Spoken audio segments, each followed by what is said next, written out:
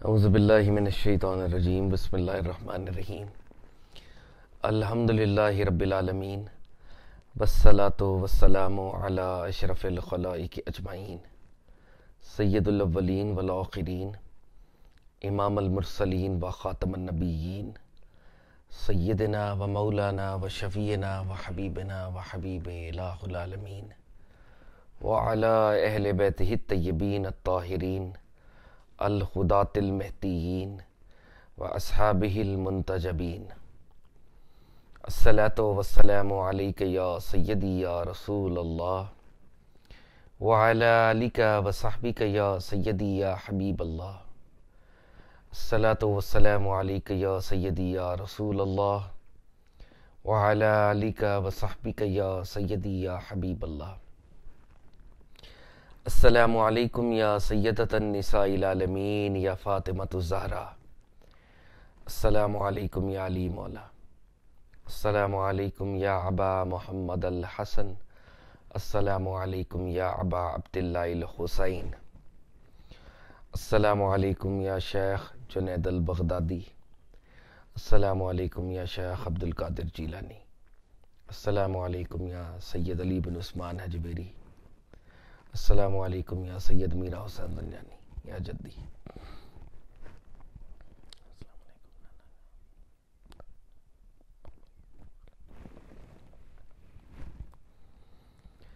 बर सग़ीर में अलिया अल्लाह के इमाम, हम तमाम अदना लोगों के टीचर, हज़रत सैयद अली बिन उस्मान हजवीरी रहमत ने कशफुल माजूब लिखी। किताब के आगाज़ में दाता साहब फरमाते हैं, मैंने बारगाह रबुल्ज़त में इस्तखारा किया। फरमाते हैं, इस्तखारे का मतलब है अल्लाह रबुल्ज़त से खैर तलब करना। हम बारगाह रबुल्ज़त में सरकार दो आलम सल्लल्लाहु अलैहि वसल्लम का वसीला पेश करते हैं, तमाम नबियों का वसीला पेश करते हैं, वलियों का वसीला पेश करते हैं, बिलखसूस हज़रत दाता साहब का वसीला पेश करते हैं। अल्लाह से खैर तलब करते हैं, इस्तखारा करते हैं कि हमारा यहाँ पर बैठना, सुनना, सुनाना, नफ़ा बख्श हो। आमीन या रबालमीन हज़रत दास साहब फरमाते हैं, सुनने वाले का मकाम बोलने वाले से बढ़कर है, क्योंकि सुनने वाला खालिस्तन अल्लाह की रज़ा के लिए एफ़र्ट करता है स्ट्रगल करता है और कहीं जाकर सुनता है। बोलने वाला बाज़ात नफ्स की रज़ा के लिए बोलता है बाज़ात रब की रज़ा के लिए बोलता है। हम अल्लाह ताला से दुआ करते हैं कि ख़ास तौर पे हमारा बोलना और सुनना रब की रज़ा के लिए हो जाए, नफ्स की रज़ा के लिए ना हो। आमीन या रबालमीन अल्लाह के फजल करम से कशुल माजूब रीडिंग सेशंस चल रहे हैं और हम इस वक्त किताब के दूसरे हिस्से में मौजूद हैं। किताब का ये वो हिस्सा है जहाँ पर दाता साहब तबा ताबईन में से यानी फॉलोअर्स ऑफ़ द फॉलोअर्स उनके अंदर जो सेंट्स पैदा हुए थे, जो अली अल्लाह पैदा हुए थे, उनका तारुफ हमसे करवा रहे हैं, उनकी प्रोफ़ाइल हमसे शेयर कर रहे हैं। किताब जैसा कि हम तस्करा करते हैं हमेशा आगाज़ में, कि दाता साहब ने पर्जन में लिखी थी, और इसकी पहली ट्रांसलेशन 1894 में मौलवी फ़िरोज़दीन साहब ने उर्दू में की थी। हम इसी उर्दू ट्रांसलेशन को यूटिलाइज करते हैं यूज़ करते हैं। हम अल्लाह से दुआ करते हैं कि मौलवी साहब की रूह पर, उनकी कब्र पर अपना कर्म खसूसी कर, क्योंकि ये मौलवी साहब की एफ़र्ट है, जिसकी वजह से दादा साहब का मैसेज हम तक पहुँच रहा है। लास्ट टाइम हमने दो अलिया अल्लाह को पढ़ा था। एक हज़रत अबू मोहम्मद अहमद बिन अल हुसैन अल हरीरी रहमत जो कि हज़रत जुनैद बगदादी के स्टूडेंट्स में से भी थे। और जुनैद बगदादी के जानशीनों में से भी थे, उनके प्रिंसिपल स्टूडेंट थे। तो उन्होंने बड़ी खूबसूरत गुफ्तु की थी। दास साहब ने मैं बताया था कि इन वली अल्लाह ने ये कहा है कि अगर कोई शख्स अल्लाह ताला पर, अल्लाह ताला को काफ़ी समझे तो उसका बातिन दुरुस्त हो जाएगा। अगर जो डोंट्स अल्लाह ने जिन डोंट से मना किया है, उनसे मना हो जाए तो इंसान का कैरेक्टर और उसकी सीरत जो है वह नेक हो जाएगी।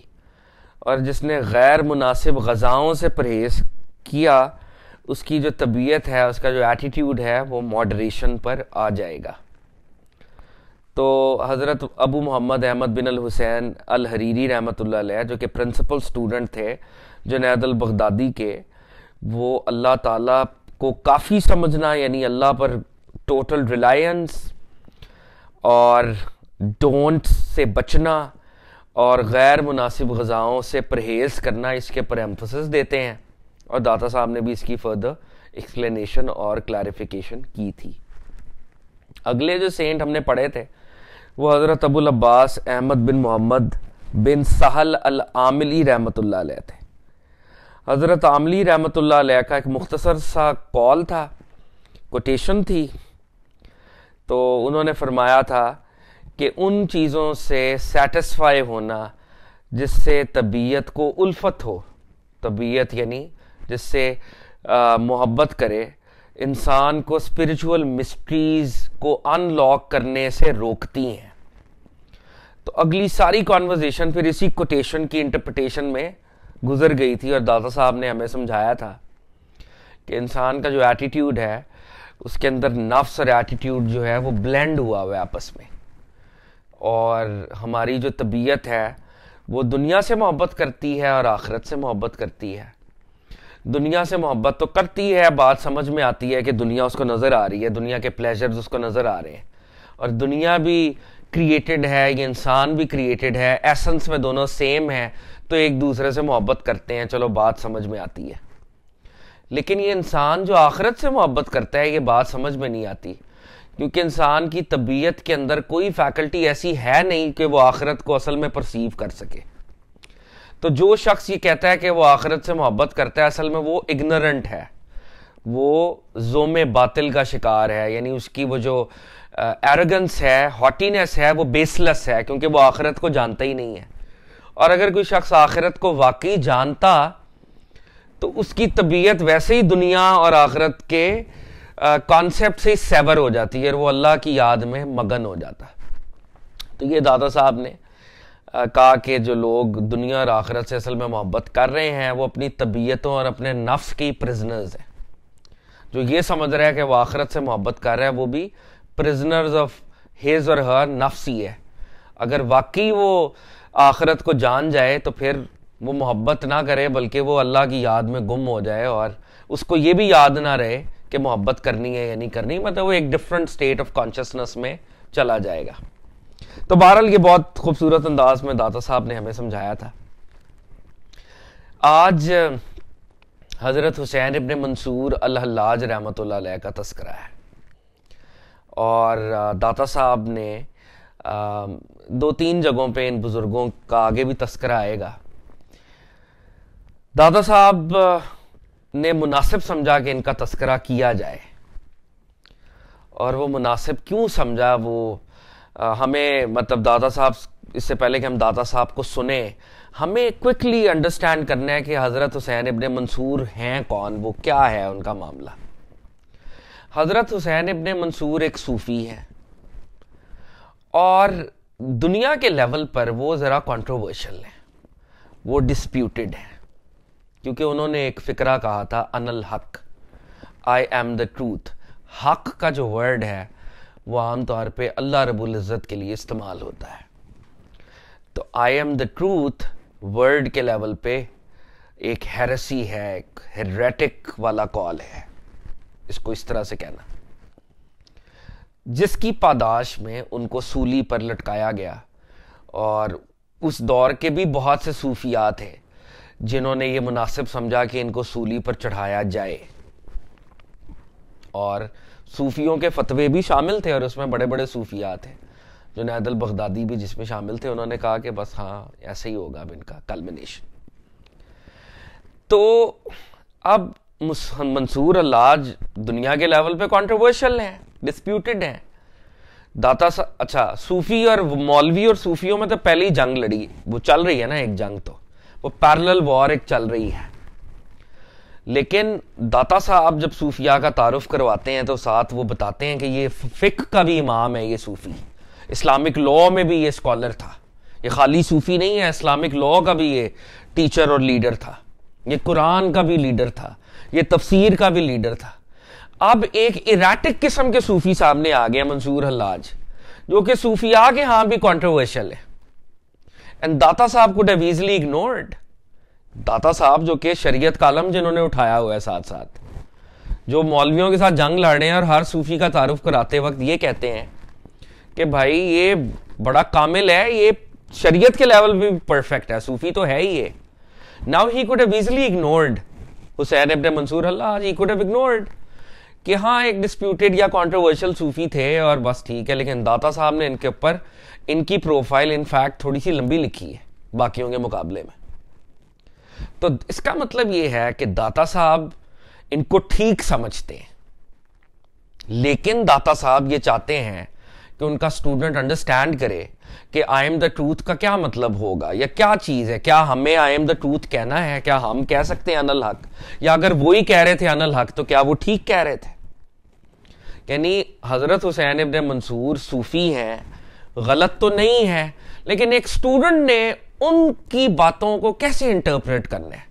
और उनकी बातों को क्या ब्लाइंडली फॉलो करना है उसको? या कोई एक पाथ है जिसके ऊपर चल रहा है? तो दाता साहब ने इनको इग्नोर नहीं किया और इनके ऊपर टाइम लगाया। He could have done that लेकिन अब वो मौलवियों के सामने एक और लेवल पे खड़े हो गए हैं और वो कह रहे हैं कि अगर उलमा ज़ाहिर सूफियों को पहले ही रगड़ा लगा रहे हैं और ये कॉन्ट्रोवर्शियल सूफी है तो मैं इस कॉन्ट्रोवर्शियल सूफी को भी डिफेंड करूँगा अब और बताऊँगा कि मामला क्या है। नहीं कंटेम्प्रेरी नहीं थे दाता साहब के टाइम पे, ये जुनैद अल बगदादी के टाइम के सूफी हैं। यानी आप समझें कि दाता साहब से रफली डेढ़ दो सौ साल पुराने थे। हाँ जी रफली स्पीकिंग उनसे डेढ़ दो सौ साल पुराने। और by the way Hussain ibn Mansur Hallaj जो हैं, वो तसव्वुफ के पहले माटर हैं। जैसे एक किबला होता है ना, एक बंद मतलब एक शहीद जिसकी तरफ़ सब people look after look up to him और हर जैसे अगर हम इस्लामिक हिस्ट्री में देखें तो जो इमाम हुसैन ने शहादत से एक हिस्ट्री के अंदर एक वो मकाम अटेन किया है जनरली सारे मुसलमानों के लिए, जहाँ पे शहादत की बात होती है तो इमाम हुसैन का नाम ज़रूर लिया जाता है। किसी भी फ़िरके से हो, जिद्दोजहद हो तो इमाम हुसैन का नाम आप लेते हैं, एक सिंबल बन जाता है। तो तसवुफ में हुसैन इब्ने मंसूर एक सिंबल बने हुए अच्छा इससे पहले कि हम ये भी देख लें कि आई एम द ट्रूथ का क्या मतलब हो सकता है? दास साहब तो अभी कॉन्वर्जेशन करेंगे, मैं कॉन्टेक्स्ट ताकि हम एक पेज पे और हम आगे चलें। बंदे का रब के साथ एक ताल्लुक हो सकता है बस। वो वो है लव का ताल्लुक।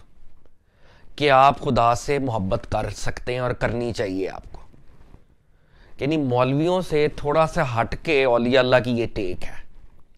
कि अल्लाह चाहता है कि उससे मोहब्बत की जाए। यानी अल्लाह ये चाहते जब अल्लाह ने कहा कि मैं छुपा हुआ खजाना था, मैंने चाहा, या मैंने चाहत की कि मुझे पहचाना जाए। जिसे अंग्रेज़ी में वो ट्रांसलेट करते हैं I was a hidden treasure I love I I love to be known मुझे मोहब्बत की कि मुझे कोई पहचाने। तो सूफिया के नज़दीक ये हदीस कुछ सी बड़ी इंपॉर्टेंट है। कि अल्लाह की जो पहचान का रास्ता है, वो अल्लाह से मोहब्बत के पात से, यानी उससे बंदा कशिश महसूस करे, उस रब से। तो जब सूफी कशिश के रास्ते पर चलते हैं तो एक ऐसा पॉइंट आ जाता है कि वो कशिश इतनी ज़्यादा हो जाती है कि वो अपनी ज़ात को भूल जाते हैं। और जिस कशिश के वो शहर में होते हैं, फिर उनको वही महबूब नज़र आ रहा होता है।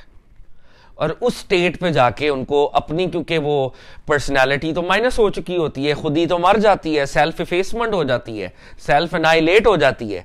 तो जो उनको रियलिटी नज़र आ रही होती है, वो एक लेवल की यूनियन में होते हैं, एक लेवल की। तो तब उनके उस जज्ब और उस मस्ती और उस एक्सटसी में ऐसे जुमले निकलते। तो Hussain ibn Mansur was actually a lover of all mighty अल्लाह और वो लवर्स कितने बड़े इमाम है कि एक लेवल पर वो अब पिलग्रमेज पॉइंट भी है। अगर वो कंट्रोवर्शियल हैं तो एक लेवल पे वो किबला भी सूफियों का है वो। लवर्स वाले पात के सूफियों का, जो खुदा के रास्ते में जाना चाहते हैं। और खुदा से इतनी मोहब्बत करते हैं कि एंड पे अगर उन्हें सूली पर चढ़ाया जा रहा है तो वो कहते हैं, हम चढ़ जाएँगे। तो बहरहाल एक बहुत ही हेरोइक और बड़ी एक इंटरेस्टिंग सी पर्सनैलिटी है हज़रत हुसैन इब्ने मंसूर हल्लाज। अच्छा इनकी हिस्ट्री में एक चीज़ और देख लें। Um, ये मुख्तलिफ़ टीचर्स के पास जाते थे दासा भी बताएँगे हमें। साहल बिन अब्दुल्ला तस्तरी के पास गए अमर बिन उस्मान मक्की के पास गए जुनैद बगदादी के पास गए। और तीन हज किए आपने। अब हज करना इस बात की दलील है कि वो अल्लाह को एक मान मतलब वो अनल हक तो एक उन्होंने कहा लेकिन नाउज बिल्ला वो अपने आप को खुदा नहीं समझते थे। वो खुदा के रस्ते पे थे।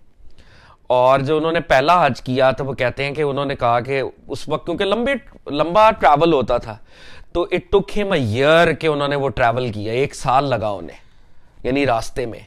और उन्होंने कहा कि मैं हर रोज रोजा रखूँगा। तो पूरा जो जर्नी थी, उन्होंने रोज़े से रहे वो। जब हज तक पहुँचे हैं, वो रोज़े ही से थे, रोज रोजा रखते थे। फिर उन्होंने सेकंड हज किया। और फिर उन्होंने थर्ड हज किया और थर्ड हज वाला जो सफ़र है उनका, उसमें उनको दो साल लगे। It took him two years to complete the entire journey और दो वो जो साल गुजरे, उस वक्त उनको वो जिसको मुशाहिदा कह लें डिस्क्लोजर कह लें, या जो भी सूफियों की लैंग्वेज होती है, जो भी कहें, वो तब उस दर्जे पे पहुँचे। और उसके बाद वो एक अनल हक वाली स्टेट पे पहुँच गए। अब हम दाता साहब रज़ी अल्लाह तला से ही सुनते हैं कि इसका ये क्या मामला है और इसके ऊपर हमारी टेक क्या होनी चाहिए। एक मुख्तसर सा कॉन्टेक्स्ट हमने बिल्ड किया इसका। दासा फरमाते हैं, अबुल मुगीस अल हुसैन बिन मंसूर अल हल्लाज। हल्लाज वैसे इनका टाइटल है और इस टाइटल का मतलब ये है कि कॉटन से फाइबर जो अलहदा करता है, जो रॉ कॉटन से फाइबर होते हैं, उनको अलहदा करने वाले को हल्लाज कहा जाता है। तो ये आ, इनके जो वालिद थे और बाज़ रवायात में वालिद आता है और बाज़ रवायात में ये ख़ुद ये कॉटन को अलहदा करते थे यानी रॉ कॉटन को उसको ज़रा प्रोसेस करते थे और फाइबर्स को हटाते थे हल्लाज कहते हैं। और फिर इसी से उनका लकब ये हल्लाजल असरार भी बन गया कि दिलों में जो मिस्ट्रीज हैं उनको अलहदा करके वो बयान कर देते हैं। तो अल हल्लाज का ये है। अबुल मुगीस, उनकी कुनियत है। He got married as well by the way and he had kids as well तो अबुल मुगीस, हुसैन उनका नाम है, मंसूर उनके वालिद का नाम है। अबुल मुगीस अल हुसैन बिन मंसूर अल हल्लाज रहमत दासा फरमाते हैं, तबा ताबईन में से एक आल में मानी में डूबे हुए मीनिंग्स में डाइव किए किए हुए थे। यानी दा साहब इस जुमले से बता रहे हैं कि वो रियलिटी की डेप्थ के अंदर उन्होंने डाइव की हुई थी। अपने मानी में डूबे हुए, अपने दावे में हलाक शुदा। दावा वर्ड की बात है ना, क्लेम। तो दा साहब ने इस जुमले से पैराडॉक्स क्रिएट किया कि मीनिंग में जो वो कहना चाह रहे थे वो बिल्कुल ठीक है। जो वर्ड बाहर आ रहा था, वो वर्ड उनको सलीब तक या उनको क्रूसिफाई कर गया, हलाक शुदा। पैराडॉक्स। तबा ताबीन में से एक आलम मानी में डूबे हुए और अपने दावे में हलाक शुदा वर्ड के लेवल पे प्रॉब्लम मीनिंग के लेवल पे बिल्कुल ठीक। हज़रत अबुल मुगीसल हुसैन बिन मंसूर अल्लाज रहमत आप तरीकत के मुश्ताकों और मस्तों में से थे। मुश्ताक कहते हैं डिज़ायर किसी चीज़ की करना। तो पात पे चल रहे थे डिज़ायरस थे गॉड से मीटिंग के हवाले से, और मस्तों में से थे।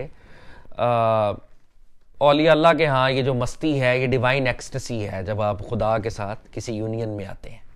वैसे तो मस्ती ड्रंक भी मस्ती होता है, लेकिन जब औलिया अल्लाह ये, या सूफिया, या शोरा ख़ास तौर पे सूफ़ी शोरा, मस्ती को यूज़ करते हैं, या शराब को यूज़ करते हैं तो उनकी इससे मुराद अल्लाह के साथ कम्युनियन और अल्लाह के साथ मुलाकात की का नशा और मस्ती होती है। तो दा साहब कह रहे हैं कि तरीक़त के मुश्ताकों और मस्तों में से थे, यानी अल्लाह के साथ मीटिंग में उसके प्लेजर में रहना चाहते थे। आपका हाल कवि कवि कहते हैं पक्का, यानी जो इनर स्टेट थी वो बिल्कुल सही थी, कवि। आपका हाल कवि और हिम्मत आली थी। और वैसे भी बड़े स्टेट फास्ट थे, अल्लाह के रास्ते पर चलते थे। माए मशाइ तरीकत की राय आपके बारे में मुख्तलिफ़ है। कह रहे हैं there is a difference of opinion आपके बारे में लोग मुख्तलिफ़ आरा का इजहार करते हैं। और किसमें? सूफी मास्टर्स में।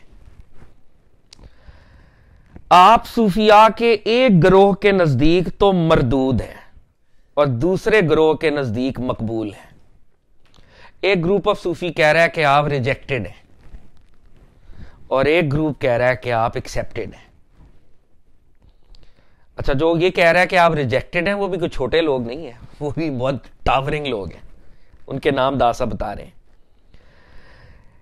एक ग्रोह के नज़दीक तो मरदूद हैं, दूसरे ग्रोह के नज़दीक मकबूल हैं। मसलन, अमर बिन उस्मान अल मक्की। अमर बिन उस्मान अल मक्की जुनैद बगदादी के कंटेम्प्रेरी और उनके स्टूडेंट्स में से भी हैं। बाज़ रवायात में बहुत बड़े सेंट हैं। और सबसे पहले मंसूर अलाज आप ही के पास आए थे। साहल बिन अब्दुल्ला तस्तरी और फिर इनके पास आए थे। और फिर इनसे झगड़ा हुआ था। उन्होंने कहा था कि तुम ठीक रास्ते पे नहीं चल रहे। तो इनसे झगड़ा हुआ था, इन टीचर से, अपने ही टीचर से। तो उन्होंने कहा कि ये मरदूद है, ये फारिग है। तो दास साहब कह रहे हैं अमर बिन उस्मान अल मक्की, अबू याकूब यजजोरी, अबू अयूब अख्ता और अली बिन सहल इस्फहानी वगैरह ने इनको रद्द कर दिया है कि ये बड़े बड़े जो अलिया हैं कहते हैं, नहीं, ये ठीक नहीं है रास्ता ये. इब्ने अत्तार, ये एक और बुज़ुर्ग है, मोहम्मद बिन हनीफ, अबुल कासिम नसर आबादी रहमतुल्लाह अलैहिम और सब मुताखरीन ने इनको कबूल किया है। मुताखरीन कहते हैं बाद में आने वालों को। तो कह रहे हैं कि ये चार औलिया अल्लाह और बाद के सारे औलिया अल्लाह ने कहा कि वो ठीक है। Is okay is no problem नहीं, सारे कंटेम्प्रेरीज ने भी रिजेक्ट नहीं किया, लेकिन आधे कंटेम्प्रेरीज ने रिजेक्ट कर दिया फॉर वट एवर रीजन अभी हम देखते हैं कि वो क्यों करते हैं रिजेक्ट उसमें से कुछ ने एक्सेप्ट भी किया। लेकिन ज़्यादा एक्सेप्टेंस बहरहाल बाद में फिर लोगों ने दी है। फिर एक जमात ने आपके मामले में तोकफ किया है। तोकफ कहते हैं पॉज करना। ना अच्छा कहेंगे, ना बुरा कहेंगे। मसलन हज़रत जुनैद बगदादी, हज़रत अबू बकर शिबली, हज़रत हरीरी, हज़रत हसरी। अब ये भी बहुत बड़े वाली हल हैं। और ये दादा साहब के टीचर्स में से है। ये जो लाइन अभी दादा साहब ने कोट की है ना, Junaid Baghdadi, Abu Bakr Shibli, Abul Hasan Husri, ये दादा साहब की डायरेक्ट लाइन है ये टीचर्स की। तो कह रहे हैं ये सारे चुप हैं। और यहाँ पे वैसे ब्रैकेट में हम आपको बता दें कि बहुत से औलिया अल्लाह ये समझते हैं कि जुनेद बगदादी, शिबली, हज़रत हुसैन इब्न मंसूर के इंटरनल को एक्नॉलेज करते थे। मगर उनके दावे के वो खिलाफ थे और इसलिए वो कह रहे थे वर्ल्ड के लेवल पे इसने क्योंकि ये ब्रीच किया है तो इसको सजा मिलनी चाहिए। दे न्यू के अंदर कुछ और है क्या वो कुछ और है। बहरहाल इन्होंने पॉज किया है इन लोगों ने। वो ना उनको अच्छा कहते हैं, ना बुरा कहते हैं। लेकिन for the record Junaid Baghdadi was amongst those people जिन्होंने वो फतवा दिया था, जिनकी वजह से उनको डेथ सेंटेंस हुई थी। तब उन्होंने कहा था कि मैं अपना तसवुफ का रोब उतार रहा हूँ और मैं अपना मुफ्तियों वाला रोब पहन रहा हूँ अब। अब मैं फिर इस्लाम की हद नाफिज करूँगा। ये इस तरह से है। एनीवे anyway, लेकिन उनके मामले में पॉज है कि वो सही है या गलत है उन्होंने जजमेंट नहीं दी। एक दूसरे ग्रोह ने आपको जादू और उसके इसबाब से मंसूब किया है। कुछ लोगों ने कहा थी वो मजिशियन थे। अच्छा इनसे बहुत ज़्यादा करामात ज़ाहिर होती थी बहुत ज़्यादा बहुत ही ज़्यादा। किसी ने कहा जी खजूर चाहिए। आउट ऑफ़ नो वेयर आपने कहा, जी, मुझे हिलाओ। हिलाया तो स्लीव में से खजूरें निकल रही हैं. किसी ने कहा, जी, फलाना मैंने डिजर्ट खाना है। आपने कहा वेट करो। यूँ हाथ किया डिजर्ट दे दिया उसको. वो पता चला थी वो हलवा तो इंडिया का है, ये इराक में तो फिर कुछ लोगों ने कहा, पता नहीं, कोई जिन है इनके पास। इस तरह की ये डिबेट्स हुई या जादू करते हैं ये. तो कुछ ऐसी बात भी मैं मशहूर होगी, लेकिन बहुत बाकरामत वली अल्लाह थे। और ये अनल हक कहने से पहले की बात है कि बहुत बाकरामत थे। अब दास साहब अपने जमाने की बात कर रहे हैं। लेकिन हमारे जमाने में शेखुल मशाइ अबू सईद अबुल खैर, शेख अबुल कासिम गुरगानी और शेख अबुल अब्बास शकानी रहमत हमने आपके मामले को राज में रखा है। ये एक और टेक है। अब ये जो बुज़ुर्गों के दाता साहब ने नाम लिए हैं, अगले सेक्शन में दाता साहब इनका तारुफ करवाएँगे। ये तकरीबन दाता साहब के कंटेम्प्रेरीज या उससे थोड़े से पहले के हैं। ये वाले बुज़ुर्ग। तो कह रहे हैं, एक मिस्ट्री है ये। अच्छा बुरा छोड़ो, राज है राज। तो राज वाली बात जो होती है, वो फिर राज वाली होती है ना। लेकिन उसके अंदर एक पॉजिटिव टेंजेंट है पॉजिटिव उनकी तरफ़ टुवर्ड्स द सेंट और दासा फरमाते हैं आपके मामले को राज में रखा है। वैसे इनके नज़दीक वो बुज़ुर्ग ही थे और काबिल एहतराम यानी ये जो जितने मैंने पीछे नाम लिए वो अंदर से इनको सेंट ही मान रहे थे और इनकी रिस्पेक्ट करते थे।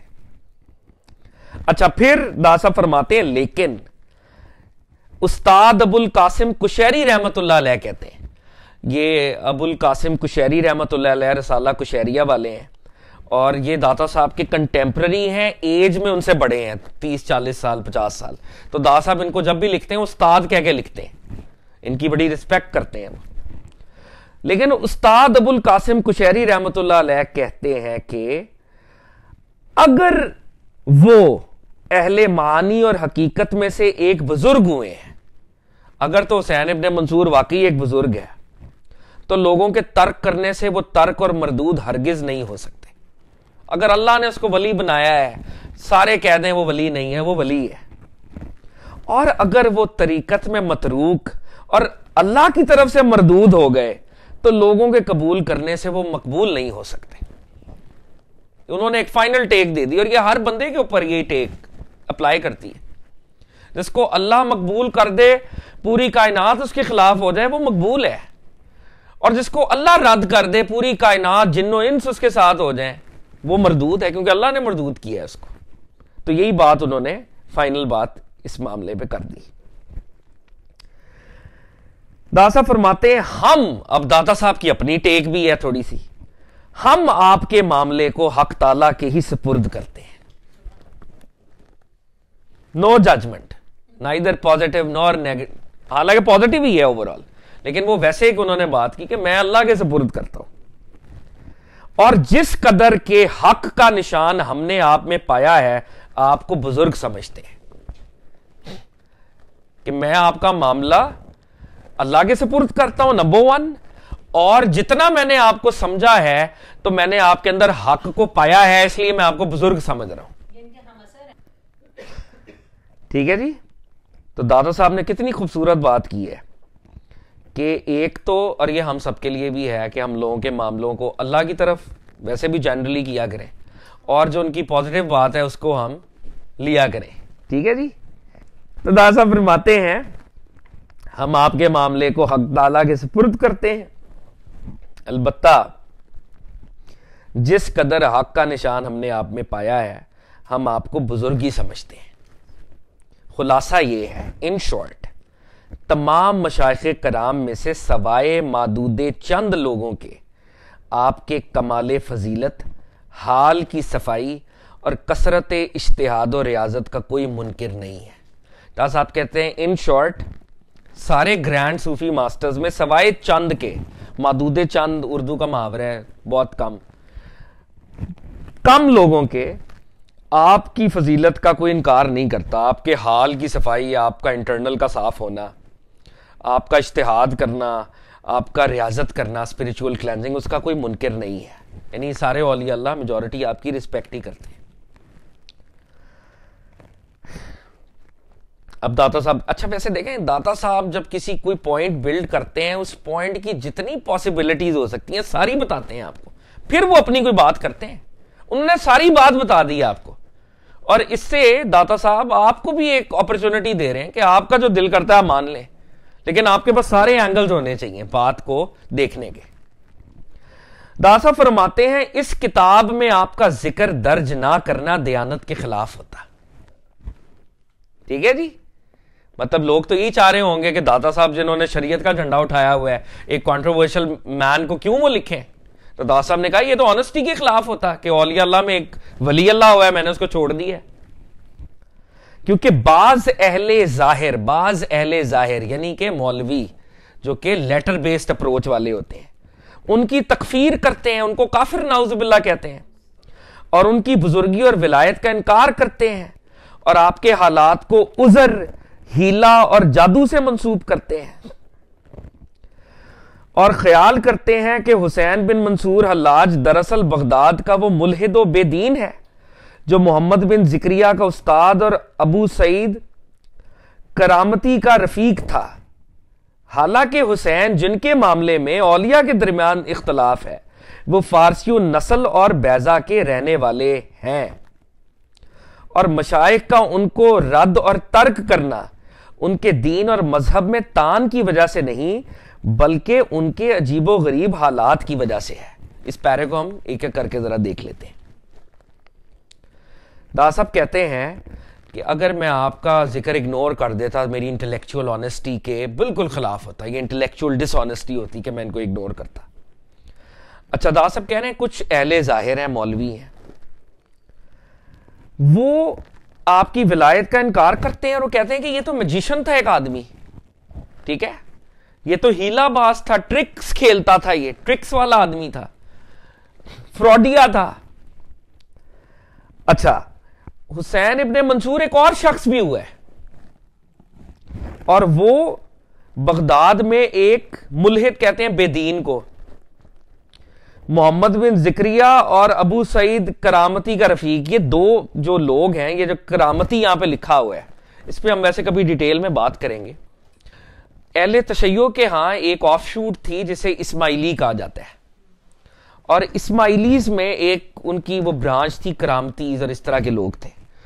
वो बिलीव करते थे, टोटल शरीयत खत्म हो गई और सारी चीज़ें बातन में है, बातनी। यानी शरीयत जो है, प्रॉफिट सल्लल्लाहु अलैहि वसल्लम की, उसका एक्सोटेरिक फॉर्म नहीं है उसकी कोई भी। सारी एसोटेरिक ही है। सारा कुछ बातिन में ही है। तो उन्होंने ऐसी ऐसी स्पिरिचुअल एक्सरसाइजेस शुरू की हुई थी, जिसका बज़ाहिर शरीयत से कोई ताल्लुक नहीं था। फिर वो ऐसी ऐसी रियाजतें भी करते थे, और फिर वो मैजिक और इस तरह की चीज़ों के अंदर भी घुसे हुए थे। ये तो अब अब वाला तो वेरिएंट डिफरेंट है। मतलब वैसे ये वेरिएंट वहीं से आ रहा है। हाँ लेकिन वो जो पुराने वक्तों में वो वेरिएंट था, उसने बकायदा जन्नत भी बनाई हुई थी अपनी। और वो एक और उनका वेरिएंट था जो एसेसेंस कहलाता था। वो लोगों को असैसिनेट करता था और कहता था असैसिनेट का करता था? वो वक्ती तौर पे उनको वो नशावर जैसे कोई चीज़ दे के उनको अपनी जन्नत में ले जाता था। उधर वो इंजॉय करते थे ये वो। कहते थे, ये भी एक स्पिरिचुअल वो ग्रोथ है दफलाना है। बड़ा लंबा चौड़ा इस तरह का सिलसिला था। अगर हम इस्लामी तारीख पढ़े तो बड़े बड़े अजीब व गरीब वाकयात उसके अंदर है। तो दास साहब कह रहे हैं, कुछ लोगों को मुगालता हुआ है। वो जो दूसरा हुसैन इबन मंसूर है। मतलब ये तो एक आम सी बात है कि एक बंदा, उसका नाम हुसैन हो, अबू का नाम मंसूर हो। हुसैन इबन मंसूर जो बगदाद वाला था, जो बगदाद का रिहायशी था, जो अरब था, जो कि इन इस्माइलीस का, ये जो करामती हैं, इनका वो रफीक था। तो लोग समझें कि ये वो है। हालाँकि जिन हुसैन इबन मंसूर के अंदर औलिया अल्लाह का डिसग्रीमेंट है, वो तो अरब थे ही नहीं। वो तो पर्शियन थे। रहते फिर बगदाद में थे, एंड पे या बसरा में रहते थे। वो तो फारसी उन नस्ल है। तो दाता साहब ने एक हिस्टोरिकल क्लैरिफिकेशन सबसे पहले दी है कि जो लोग हुसैन इबन मंसूर को बुरा कह रहे हैं और उनको मजिशन कह रहे हैं, वो हुसैन इबन मंसूर तो दूसरा था, जो कि बातनी फिरकों के साथ फिर फिर रहा था। और ये दो कैरेक्टर्स के नाम ले रहे हैं, मोहम्मद बिन जिक्रिया का उस्ताद और अबू सईद करामती का रफीक। ये दो कैरेक्टर्स होंगे कोई हिस्ट्री के, जो कि करामती वो होंगे, वो वाले। ये करामती भी वो कैंची वाला है ये करामत वाला नहीं है ये कैंची वाला काफ है। एनी anyway, तो दास साहब कह रहे हैं historical clarification number one Hussain ibn Mansur अल्लाह जो बगदाद वाला कोई हुसैन इबन मंसूर है वो नहीं है। हुसैन इबन मंसूर पर्शियन थे जो कि अरबाइज हुए थे जो कि इधर इराक में आए थे। इनके बारे में औलिया अल्लाह का इख्तलाफ है डिसग्रीमेंट है। तो ये तो मजिशन थे ही नहीं ये तो अल्लाह वाले थे। पहली बात तो इसको अंडरस्टैंड करें।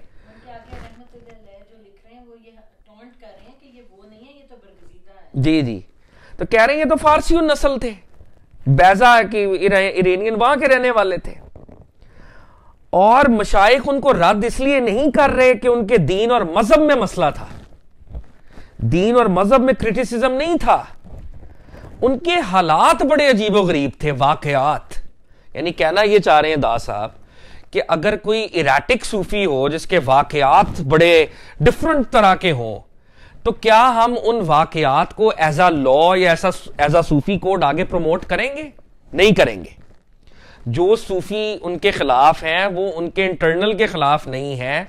उनके वाकयात और उनका मर्क्यूरियल होना एज अ सूफी उसके खिलाफ है वो। ठीक है? यानी उनके मज़हब के खिलाफ नहीं है वो। वो समझ रहे थे कि जो सूफी खिलाफ भी हैं उनके, मज़हब, मजहबन उनको इस मुसलमान समझते थे, उनको वली अल्लाह समझते थे, लेकिन वो जो उनके हालात थे, उनके जो मुँह से निकल रहा था, वो अजीब गरीब था। वो सिर्फ़ उतनी लड़ाई है उनकी पूरी पूरी लड़ाई नहीं है उनकी। बहरहाल ये कुछ दादा साहब ने हिस्टोरिकल क्लैरिफिकेशन यहाँ पे कर दिए। दादा साहब फरमाते चुनाचे ये पहले साहल बिन अब्दुल्ला के मुरीद थे। साल बिन अब्दुल्ला तस्तरी बहुत बड़े वली अल्लाह थे। उनकी इजाज़त लिए बगैर उनके पास से चले गए। जब वो साल बिन अब्दुल्ला को छोड़ा तो उन्होंने भी फिर गुस्सा किया ना, इनसे जलाल किया। फिर अमर बिन उस्मान मक्की से ताल्लुक पैदा किया। फिर उनके पास से भी बिला इजाज़त चले गए। फिर हज़रत जुनैद बगदादी से ताल्लुक पैदा करना चाहा। हज़रत जुनैद ने उनको कबूल ना किया इस सबब से वक्त के सब मशाइख ने उनको छोड़ दिया। पस वो अमल में मतरूक हैं, ना के असले तरीकत में। दाता साहब ने एक और बात खोली है दादा साहब कह रहे हैं कि बाजुकात होता यह है कि बंदे का इंटरनल साफ़ होता है। लेकिन बंदा वैसे गलती क्यों कर रहा होता है अमल के लेवल पर? अब पहली गलती क्या हुई कि टीचर स्टूडेंट का एक अदब है जो तसवुफ के अंदर, ख़ास तौर पर जिसको अप्रिशिएट किया जाता है प्रमोट किया जाता है। ये साल बिन अब्दुल्ला तस्री के पास गए, बगैर इजाज़त के भाग गए। अमर बिन उस्मान मक्की के पास गए, रहे, फिर बगैर इजाज़त के भाग गए। जुनैद बगदादी को इसलिए बड़ा गुस्सा था कि पहले तुमने उनको छोड़ा, अब तो मेरे पास क्यों आ गए हो? उन्होंने कहा, मैं तुम्हें एक्सेप्ट ही नहीं करता। अब ये जो तीन औलिया अल्लाह ने, इनका मर्क्यूरियल होना या कहें कि इनका रेस्टलेस होना उसको पसंद नहीं किया ना रेस्टलेसनेस को, कि तुम टिकते क्यों नहीं हो एक जगह पे? और जुनैद बगदादी के पास जब ये आए तो उन्होंने पहली चीज़ इनको ये कही थी कि तुम तुम्हारे अंदर बहुत ज़्यादा रेस्टलेसनेस है। तुम पहले ना ओबीडियंट होके, काम होके आओ। काउंसिल किया था उन्होंने। इनके अंदर वो था कि मैं खुदा के पास जल्दी पहुंचू, क्या करूँ ये? बहुत वो थे जरा। तो दा साहब कह रहे हैं, अमल में मतरूक है। यानी इनकी ये जो रेस्टलेसनेस है, औलिया इसको क्रिटिसाइज कर रहे हैं। कि ये रेस्टलेसनेस क्यों है? असले तरीकत में रियलिटी ऑफ़ मिस्टिसिज्म में उनको रद्द नहीं किया जा रहा। रियलिटी ऑफ़ मिस्टिसिज्म में वो एक मिस्टेक ही थे और वो चल रहे थे, लेकिन हाँ दुनियावी तौर पे कह लें, थोड़े रेस्टलेस थे। अमल में मतरूक, असले तरीकत में मतरूक नहीं। तर्क से है मतरूक। तो दास साहब, इस आर्गुमेंट को are we all on the same page actions में थोड़ी सी वो कमी कह लें, लेकिन इंटरनल उनका बिल्कुल ठीक था। वो इंटरनल को एक्सप्रेस शायद सही तरह कर नहीं पाते थे। तो दास साहब इस आर्गूमेंट की एग्ज़ाम्पल लेके आए हैं। दासा फरमाते हैं, क्या तुमने नहीं देखा कि हज़रत शिबली ने फरमाया? हज़रत शिबली, अबू बकर शिबली बहुत बड़े वली अल्लाह थे। इनके कंटेम्प्रेरी जुनैद बगदादी के स्टूडेंट मैं और हल्लाज एक ही हालत में है। अबू बकर शिबली कहते हैं, मेरी और इसकी स्टेट सेम है। बस मुझे तो मेरे जनून ने छोड़ दिया और इसे इसकी अकल ने हलाक कर दिया। कह रहे हैं, असल में इंटरनल स्टेट एक ही है। लेकिन मेरे पे अल्लाह का यह करम हुआ कि मेरी उस स्टेट ने, यानी उस जनून ने मुझे छोड़ दिया, वरना मैं भी मुँह से यही कहता जो ये कह रहा है। लेकिन इसकी अकल ने उस स्टेट को परसीव करते हुए गलत मुँह से निकाल दिया अनल हक। उस स्टेट को अकल के लेवल पे जब बयान किया तो गलती हो गई, इसलिए हलाक हो गया। वरना internally we we both were the same ये बोथ व द सेम अच्छा मज़े की बात यह है कि इनको जब क्रूसीफाई किया गया तो बड़े जालिमाना तरीके से तीन दिन वो एंड पे हम बात करेंगे उस पर लेकिन सारे इनको पत्थर मार रहे थे। तो हज़रत अबू बकर शिबली ने इनको फूल मारा। पत्थर खा के ये बिल्कुल हँसते थे, मुस्कुराते थे, किसी को कुछ नहीं कहते थे। जब फूल मारा तो ये रोए। मैंने कहा, अबू बकर, शिबली ने कहा कि मैंने तो तुम्हें फूल मारा है, तुम रो रहे हो। उन्होंने कहा, वहाँ से कि तुम मेरे साहिब हाल हो, तुम हकीकत जानते हो कि मैं क्या हूँ और ये क्या हो रहा है मेरे साथ। उनके पत्थर, वो जाहिल हैं, उनके पत्थर मुझे तकलीफ़ नहीं देते, तेरा फूल मुझे तकलीफ़ उसने दी है कि तूने जानते हुए मुझे मारा है तो ये उन्होंने, उन्हें कहा था। तो हज़रत अबू बकर, शिबली ये कह रहे हैं कि हम दोनों एक ही हालत में इंटरनल एक ही था हमारा। तो दासा फरमाते हैं, अगर वो दीन में मातून होते, मातून यानी कर्स्ड होते, हुसैन इबन मंसूर हल्लाज यानी उन पे ताना होता क्रिटिसिज्म होता तो हज़रत अबू बकर शिबली कभी यूँ ना कहते कि मैं और हल्लाज एक ही हालत में है। अबू बकर शिबली कभी भी ना कहते कि we are in the same state और हज़रत हनीफ रहमत जो कि बुज़ुर्ग हैं, उन्होंने फरमाया है, वो आलम रब्बानी है। हुसैन इबन मंसूर बड़ा रब वाला आलिम है, रब की मिस्ट्रीज को जानने वाला है। तो दासा फरमाते हैं, आपकी बुजुर्गी और फजीलत पर और भी बहुत से शवाहिद हैं। यानी जो आपकी आपकी पाइटी और आपका स्टेटस है, और भी बहुत से आर्गूमेंट्स हैं। पस बाज मशाए की नाराजी और उनकी नाफरमानी फल लाई और तरीकत में लोगों की नज़र में मातून और मतरूक बने। तो साहब कह रहे हैं, बस प्रॉब्लम ये थी कि कुछ सूफी टीचर्स की जो इनसे नाराज़ी हुई है ना, जो उन्हों जो वो नाराज़ हुए हैं, उन्होंने उनको इस हाल तक पहुँचाया ऐसे टीचर का तो देखें, इस्लामिक इस तसवुफ में टीचर के सामने जब स्टूडेंट आ गया है तो student is like a dead body अब उसने टीचर को सब कुछ मान लिया है अब मतलब सब कुछ। इन्होंने नहीं ना माना, उस सेंस में, ये रेस्टलेस थे, ये जल्दी में थे, कहते थे, मुझे बताओ, जल्दी जल्दी। वो कहते थे, हम बताएँगे अपनी, तुम पहले ट्रेन तो हो पूरी तरह से. इनके अंदर वो एक रेस्टलेसनेस थी ना मुकाबलतन फिर एक लेवल ये आया डिबेट्स बहुत करते थे।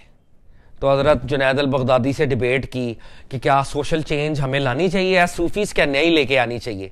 तो वो चुप रहे, क्योंकि जुनैद अल बगदादी ये समझते थे कि सोशल चेंज काका बाद में लेके आई, पहले अपना हार्ट की चेंज तो लेके आओ ना। पहले हर कोई अपने हार्ट को क्लेंस करे सोशल चेंज बाद में देखेंगे, पहले खुद अपना मन तो साफ़ करो ना। तो इनको होता था नहीं। तो ये सारी चीज़ें थी। फिर जैसे अमर बिन उस्मान मक्की थी, उनके पास एक किताब थी गंज नामा उसे कहते हैं, वो चुरा ली मतलब कुछ चीज़ें होती हैं, वो आपको वक्त पे दी जाएँ तो आपको समझ आएँगी वो। अगर आपको कॉन्टेक्स्ट ही नहीं है तो आप उन चीज़ों से गलत मतलब डिराइव करेंगे। तो अमर बिन उस्मान मक्की वो अपने जाय नमाज़ में रखते थे और वो किसी को देते नहीं थे कि वो किताब क्या है। इन्होंने कहा कि इसके अंदर वो है, ये मुझे देते नहीं है, इन्होंने चुराई और भाग गए। तब उन्होंने बदुआ की कि ये अभी इसका अहल नहीं और ले गया ये गलत कंक्लूजन ड्रॉ करेगा इससे। वो बड़े जलाल में आए, अमर, इसलिए दास ने शुरू में लिखा है कि अमर बिन उस्मान मक्की ने कहा, रद्द है। उनके पास रहे सबसे ज़्यादा टाइम तो दास साहब कह रहे हैं, असल में जो इनके साथ मामला हुआ है ना, वो ये है कि Junaid al Baghdadi Amr bin Usman Makki, उनकी नाराजी इनको यहाँ तक ले गई है, दुनियावी तौर पे। और देखें, वो भी तो बहुत बड़े सेंट्स है ना। अगर ये अनल हक है तो वो भी वो इनके भी टीचर्स हैं। वो गंज नामा उसे कहते हैं। गंज खजाने को कहते हैं ना? खजाने वो कहते थे वो ट्रेजर मुझे दें किधर है? एनीवे anyway, तो कह रहे हैं कि मशाइ की नाराजी और उनकी नाफरमानी फल लाई। और तरीकत में यानी तसवुफ में लोगों की नज़र में मातून हो गए। जो ताना इनको मिला है जो तर्क हुए उसकी वजह अनल हक से ज़्यादा क्या है? उन सूफी मास्टर्स की की बदुआ कह लें, नाराजी कह लें, जो भी उसको कह लें। दास साहब के नज़दीक। दासा फरमा रहे हैं, लेकिन आपकी तसानीफ बहुत है, आपकी there are many books that he wrote असूल और फरू में आपके रमूज और आपका कलाम महजब है। असूल है नॉलेज ऑफ़ द प्रिंसिपल फरू नॉलेज ऑफ़ द ब्रांचेस ये दाता साहब ने इल्म के चैप्टर पे हमें बताया था। जो अल्लाह से रिलेटेड मामला हैं, इल्म तोहीद, इलाहियात मेटाफिज़िक्स उसको दादा साहब असूल कहते हैं। और वो मेटाफिज़िक्स से एक शरीयत फूटती है, जिसको दादा साहब फरू कहते हैं ब्रांच कहते हैं। तो कह रहे हैं कि नॉलेज ऑफ़ द प्रिंसिपल और नॉलेज ऑफ़ द ब्रांचेस में बड़ी खूबसूरत आपने गुफ्तगु फरमाई है।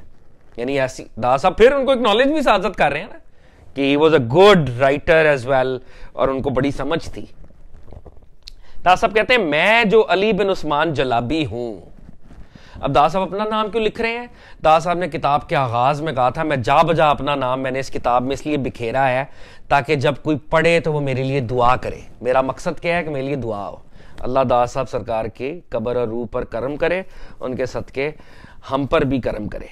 तो दास साहब फरमाते हैं, मैं जो अली बिन उस्मान जलाबी हूँ, आपकी तसनीफ़ात के पचास नुस्खे बगदाद और उनके गिरदो नवाह में देखे और बाज़ नुस्खे खोइस्तान, फारिस और खरासान में। तो दास साहब कह रहे हैं, मैंने इराक में और ईरान में बहुत आपकी बुक्स देखी हैं। पचास के करीब मैंने कॉपीज देखी हैं। अच्छा आप देखें, अब ये दादा साहब की थोड़ी अपनी टेक भी है। इनमें हर किस्म की बातें पाई, जैसा कि इब्तदा में मुरीदों पर ज़ाहिर हुआ करती हैं। जब कोई मिस्टिकल पाथ पे चलता है ना स्टार्ट में। तो उसको एक ख्वाब आ गया, उसको कोई इशारा हो गया, वो पागल हो जाता है। और वो कहता है कि अगर उसका हाल पक्का ना होना तो वो कहता है, मैं सबको बताऊँ। और अंदर भी एक प्राइड पैदा होना शुरू हो जाती है। तो दादा साहब देखें, एक फिक्रे में एक चीज़ इंप्लाई कर रहे हैं।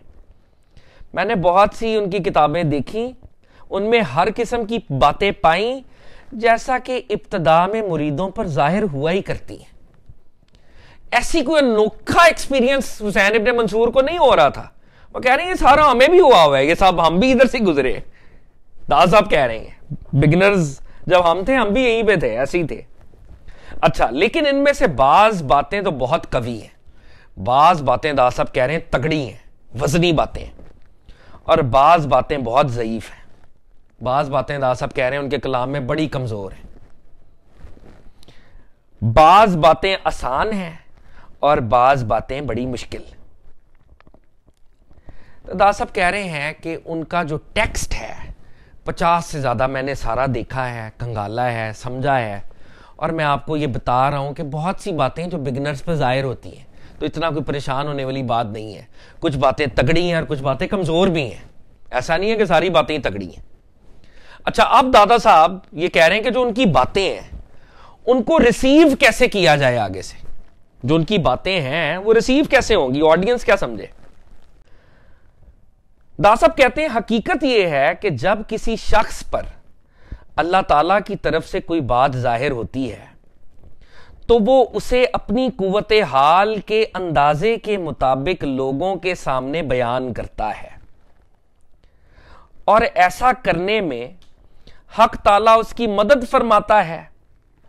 लेकिन अगर किसी कलाम का मफहम जल्दी जल्दी बयान करने की वजह से या बयान करने वाले के तहयर और ताजुब की वजह से पेचीदा हो जाए तो उस वक्त के बाज लोगों में जहालत की वजह से उस कलाम के सुनने से नफरत पैदा हो जाती है। और बाज लोगों को, बाज लोगों की अक्ल उसके समझने से आजिज होती है और वो ये कहते हैं कि ये कलाम तो बड़ा ही बुलंद है। अच्छा अब यहाँ पे हम पॉज कर रहे हैं। हम बोर तो नहीं हो रहे ज़्यादा?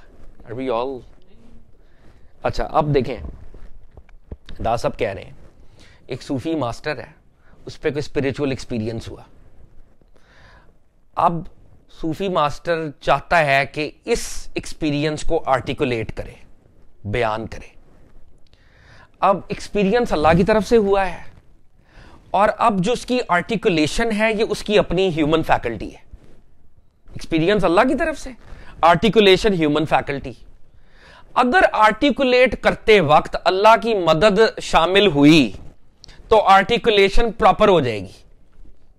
अगर आर्टिकुलेट करते वक्त अल्लाह की मदद शामिल ना हुई, बंदे की ही कैपेसिटी हुई तो बंदा आर्टिकुलेट करते वक्त ज़्यादा तहयर और ताजुब यानी ज़्यादा हैरान हो जाएगा खुद ही, बयान करते वक्त। और जब वो बयान करेगा, खुद भी हैरान हो रहा होगा कि, और आर्टिकुलेशन दा साहब कह रहे हैं कि वो अप्रोक्सीमेट होगी फिर। एक्सपीरियंस कुछ और था, और आर्टिकुलेशन अपनी ह्यूमन थी। अब दो तरह के बंदे सामने हैं। एक बंदे ने सुना और उसने जब आर्टिकुलेशन सुनी तो उसने कहा, ये तो बड़ी कॉम्प्लिकेटेड अजीब गरीब सी बात है ये। और उसने कहा, ये तो बात बिल्कुल फारिग है। ये मेरी अकल में आ ही नहीं सकती, ये बात ये झूठा है, ये इग्नोरेंट है, ये बकवास है। यानी एक रिसीवर ने उनकी आर्टिकुलेशन को झूठ समझा और दूसरे रिसीवर की भी अकल में वो बात समझ नहीं आई। लेकिन उसको यह समझ आई कि ये उसकी अकल से ऊपर की बात है। तो उसने कहा, वाह, क्या बात है। कमाल कर दी हजूर आपने। दास साहब कह रहे हैं, जो ये कह रहे हैं कि आपने कमाल कर दी, वाह वाह, वो भी बकवास कर रहे हैं।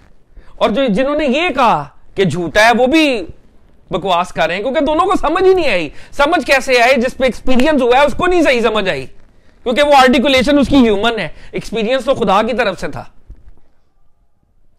तो खुदा की तरफ़ से आने वाला एक्सपीरियंस ह्यूमन आर्टिकुलेशन की प्रॉब्लम की वजह से लोगों के सुनने में प्रॉब्लम्स क्रिएट कर देता है। ये हो रहा है सिर्फ़। Salutes to Dada Saheb. कितनी बड़ी बात उन्होंने, इसको अब दोबारा देखें, क्या बात। हाँ तो वो इसलिए कह रहे हैं कि रियलिटी उनकी ठीक थी। असल में होता ये है कि जब आपका एक्सपीरियंस हो रहा है, ठीक है तो आप कितने अपने ऊपर काबू रखते हैं। ये औलिया अल्लाह के हाँ बहुत इंपॉर्टेंट है। जुनैद अल बगदादी यही तो उनका मसला था औलिया अल्लाह का।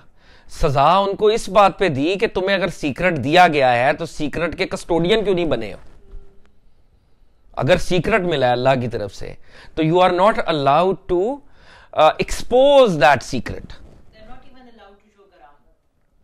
करामत तो खैर वो कोई करते ही खुद तो करते ही नहीं थे वो।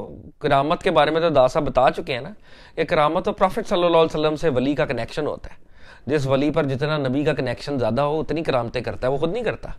वो आका के ज़रिए होती है। तो वो अपने इज़न से नहीं कर रहे होते थे वो तो थे अब वो ऐसे ही थे। इसलिए लोगों ने कहा मजीशन है जिन है इसके पास। वो तो बाकरामत है। नहीं, बड़ी लंबी चौड़ी इनको जेल हुई, आठ, नौ साल लगे। उन्होंने उन्होंने कहा कि बस मैं खुदा की मोहब्बत में हूँ, जो मैं कह रहा हूँ, वैसे ही है। अच्छा। उन्होंने कहा, मैं स्टिक करता हूँ। No he didn't no no no why would he do that उन्होंने तो अपने एक्सपीरियंस की सदाकत पे खड़ा होना था ना। As an individual he was a martyr और वो ठीक कर रहे थे अपने एक्सपीरियंस के मुताबिक। उन्होंने जब ये जुमला वो कहते थे तो वो जज्ब की हालत में थे। जैसे दास सब कह रहे हैं कि मस्तों में से थे। जब मस्त नहीं थे, तब भी उनकी एक लाइफ गुजरी है। जब उन्होंने किताबें लिखी हैं, जब वो सारे लंबे चौड़े उनकी वो है कॉन्वर्जेशन अभी देखें तो सही दास साहब क्या कहते हैं। अभी तो पहली बात दास साहब ने हमें समझाई है कि प्रॉब्लम होती है जब किसी एक्सपीरियंस को आर्टिकुलेट किया जाए, और आर्टिकुलेट जिसके ऊपर एक्सपीरियंस हुआ भी हुआ है, उसकी ह्यूमन फैकल्टी भी फ्लॉड होती है, उसकी आर्टिकुलेशन में। ये प्रॉब्लम है। और दाता साहब के यहाँ Data Sahib Junaid al Baghdadi के फॉलोअर हैं।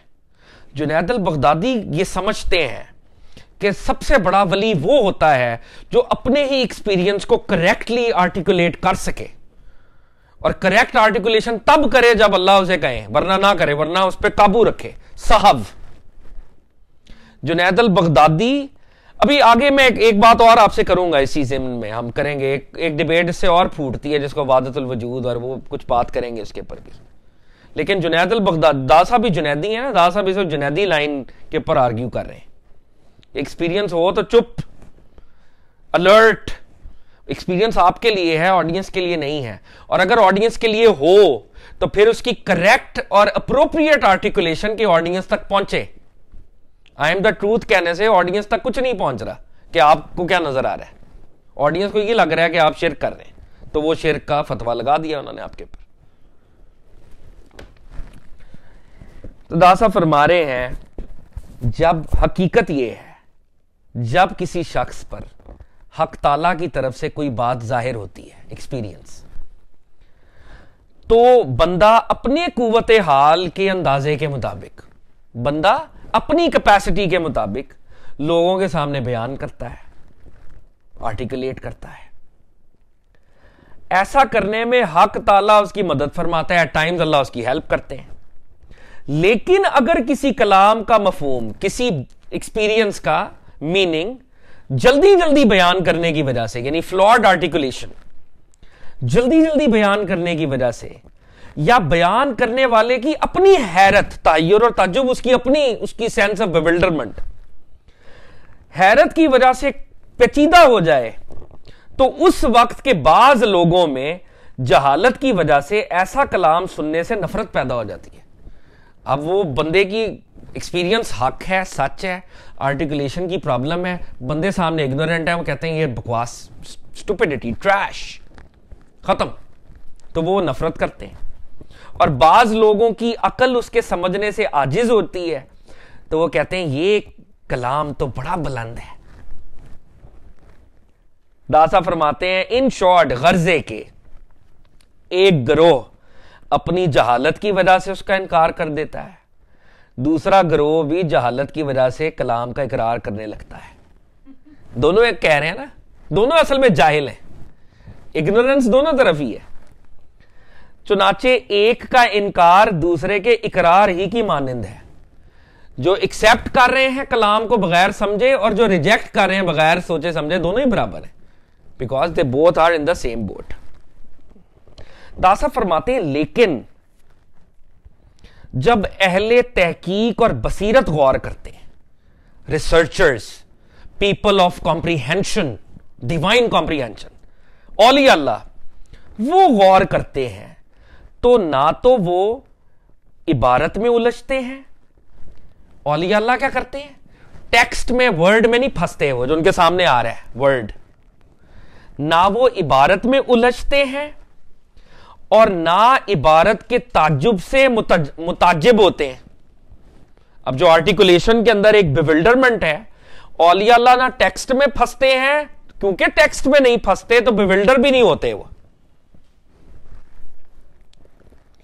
बल्कि वो उसकी मदहा, जम और इकरार और इनकार दोनों ही से एक तरफ़ हो जाते हैं। तो दास साहब कह रहे हैं, जब औलिया अल्लाह इस तरह के एक्सपीरियंस के जुमला, कोई एक्सपीरियंस हुआ है किसी वली को? और वो उनके सामने वो वर्ड की फॉर्म में आया है। तो वो ना वर्ड को देख रहे हैं, ना वर्ड के अंदर हैरत से वो हैरत ज़्यादा हो रहे हैं। और ना ही वो वर्ड्स को प्रेस कर रहे हैं, और ना ही वो वर्ड को क्रिटिसाइज कर रहे हैं। वो वर्ड के पीछे मीनिंग को अनलॉक करने की कोशिश कर रहे हैं कि वो क्या है? ये प्रेस करना, तनकीद करना, ये वो कहते हैं, ये तो ये तो ये ठीक नहीं है बिल्कुल भी।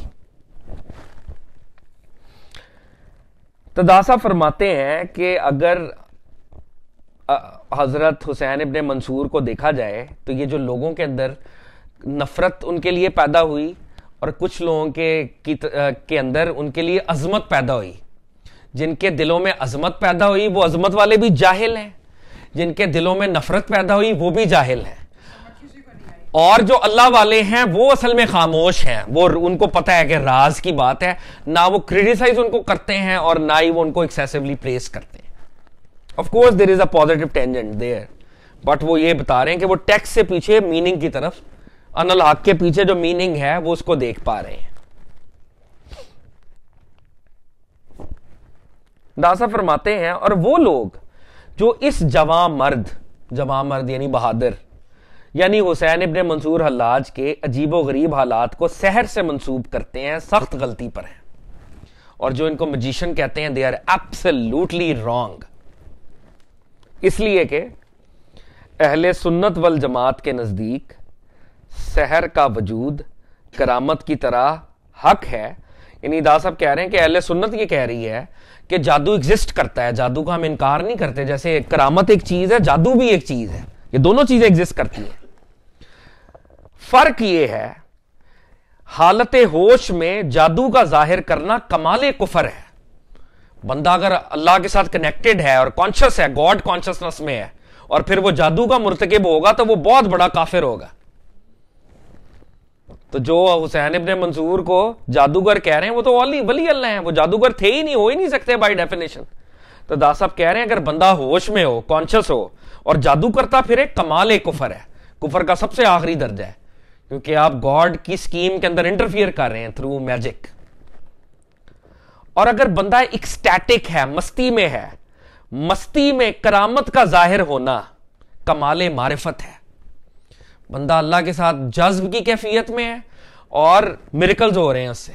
तो ये मेरिकल्स मैजिक नहीं है, ये उसका आरिफ होना कि वो गॉड के साथ कनेक्टेड है। ये आरिफ है उसका। वो इरफान रखता है। दासा फरमाते हैं, क्योंकि जादू अल्लाह ताला के गजब का नतीजा है। जादू जो है, वो अल्लाह डिवाइन रॉथ है उसके पीछे। और करामत उसकी रजामंदी की दलील है। तो जो साहिब करामत होता है, अल्लाह उससे राज़ी होते हैं। और जो जादूगर होता है, अल्लाह उससे खाइफ, अल्लाह ताला उससे तर्क कर देते हैं। अल्लाह उसे मातून करते हैं उस पर लानत मलामत भेजते हैं जादूगर पे। तो दास साहब ने एक और बात यहाँ पे कर दी, खुल के कर दी कि जो हज़रत हुसैन अपने मंसूर को जादूगर समझते हैं, वो तो फारिग है, साहिब करामत है। Is a man of miracles is not a man of magic तो दास साहब फरमाते हैं, अहले बसीरत लोग, यानी अहले सुन्ना जो दास साहब जिस तरह हनफी हैं तो दास साहब कह रहे हैं, हमारे जो अलिया हैं, लोगों का इतफाक है देर इज़ अ कंसेंसस कि कोई मुसलमान, अगर बंदा मुसलमान हो, वो खसारा उठाने वाला जादूगर नहीं हो सकता। यानी कलमा पढ़ने वाला अगर मुसलमान होगा तो जादूगर नहीं हो सकता। पक्की बात है। अगर वो जादूगर है तो समझें कि वो इस्लाम चला गया उसका। कोई मुसलमान खसारा उठाने वाला जादूगर नहीं हो सकता। मुसलमान मजिशन नहीं हो सकता ना कोई काफिर साहिब करामत हो सकता है। काफिर मैन ऑफ़ मिरिकल्स नहीं हो सकता। वो इस्तदराज हो सकता है, उसके पास मैजिक हो सकता है, उसके पास करामत नहीं हो सकती। करामत प्रॉफिट वसल्लम या जिस नबी की उम्मत का वली है, उस नबी के साथ वो कनेक्टेड होता है तो उसको मेरिकल अल्लाह की तरफ़ से मिलता है। ये दास साहब आगे बताएँगे। दास साहब कह रहे हैं, क्योंकि जिद्दें आपस में जमा नहीं हो सकती, जिद कॉन्ट्रडिक्शन को कहते हैं। तो कॉन्ट्रडिक्शन कभी भी आपस में जमा नहीं हो सकती। दासा फरमा रहे हैं। अच्छा अब दास साहब ने एक पूरा हमें ओवरव्यू दे दिया है। हुसैन इबन मंसूर हिस्टोरिकली दो हुसैन इबन मंसूर हैं। एक जो गलत वाला हुसैन इबन मंसूर है, उससे कंफ्यूज ना करें आप। ये हुसैन इबन मंसूर पर्जन है। नंबर टू मसला आर्टिकुलेशन का है। जब वो टेक्स्ट को आर्टिकुलेट किया गया, उनका एक्सपीरियंस वर्ड्स के लेवल पे आया तो कुछ लोग इग्नोरेंस में उनके खिलाफ हो गए और कुछ इग्नोरेंस में एक्सेसिवली प्रेस करना शुरू हो गए, जबकि औलिया अल्लाह उनके वर्ड्स में फंसे ही नहीं और औलिया अल्लाह उनके मीनिंग की तरफ़ गए। और क्रिटिसिज्म अगर हो रही है तो वर्ड के लेवल पे हो रही है। प्रेज जो बेवकूफ़ लोग हैं, वो वर्ड के लेवल पे कर रहे हैं। औलिया अल्लाह मीनिंग के लेवल पे उनको वली मान रहे हैं। वर्ड के लेवल की डिबेट ही उन्होंने खत्म कर दी है। और वो मजिशन नहीं थे, बल्कि वो मैन ऑफ़ मेरिकल्स थे। तो दासा फरमाते हैं, अब इस बात को इस्टेब्लिश करना है कि अल्लाह अल्लाह है, बंदा बंदा है तो दो फिक्रे दासा बयान कर रहे हैं। हुसैन इबन मंसूर जब तक ज़िंदा रहे, नेकी के लिबास में रहे। मसलन अच्छी नमाजें पढ़ते रहे। बहुत ज़िक्र इलाही और मनाजात करते रहे। हमेशा रोज़ा रखते रहे। अल्लाह की नहायत ही पाकिज़ा हमद और सना करते रहे। और तोहहीद इलाही में भी उम्दा नकात बयान फरमाते रहे। अगर आपके अफ़ाल जादू पर मबनी होते तो ये सब नेक अमूर आपसे महाल होते। अगर आप जादूगर होते तो ना आप रोज़ादार होते, ना आप नमाजें पढ़ते, ना आप हज करते, ना ही आप अल्लाह का ज़िक्र करते। बस इसमें कोई शक नहीं कि आपके तमाम एक्शंस आपके अफ़ाल करामत वाले थे, और ये करामत सवाए महक्क वली के किसी को हासिल नहीं होती। महक्क जो बड़ा वली होता है। कह रहे हैं कि ये वॉज़ अ बिग वली असल में। बाज अरबाब हकीकत, अब ये अनल हक वाली बात आने लगी है। आई एम द ट्रूथ अच्छा अब दास साहब कहते हैं, अरबाब हकीकत people of you know mysticism जो कि आगे पहुँचे हैं। आपके इस नज़रिए के पेशे नज़र, अब उनका नज़रिया क्या था? उम्मत, खुदा और बंदा। बाहम मिलकर एक वहदत बन जाते हैं। इस जुमले की वजह से आपको काबिल कबूल नहीं समझते थे। ये जो यहाँ पे बात हुई ना, उम्मत खुदा और बंदा एक हो जाते हैं। इसको बाद में कुछ औलिया अल्लाह ने फर्दर डेवलप किया एक लेवल पे, जिससे वादतुल वजूद का कॉन्सेप्ट सामने आया। लेकिन वो जब वादतुल वजूद कह रहे होते हैं, वो कहते हैं वजूद एक है। तो वो अपने आप को असल में कह रहे होते हैं कि हम नथिंग है। वो जब ये कह रहे हैं कि हम एक हैं तो वो अपने आप को जब ज़ीरो कह रहे हैं तो zero plus zero plus one one रहेगा ना। तो असल में शिरक वो भी नहीं कर रहे, असल में। लेकिन एक आम आदमी को इतनी कॉम्प्लिकेटेड बात तो नहीं आप बता सकते ना? कि जी, बंदा असल में तो अदम है नथिंगनेस है। असल में तो ये जो सारी चीज़ें क्रिएटेड हमें नज़र आ रही हैं तो है ही नहीं, असल में तो वही है। इसलिए अनल हक। असल में तो है ही वो, हम हैं ही नहीं असल में तो।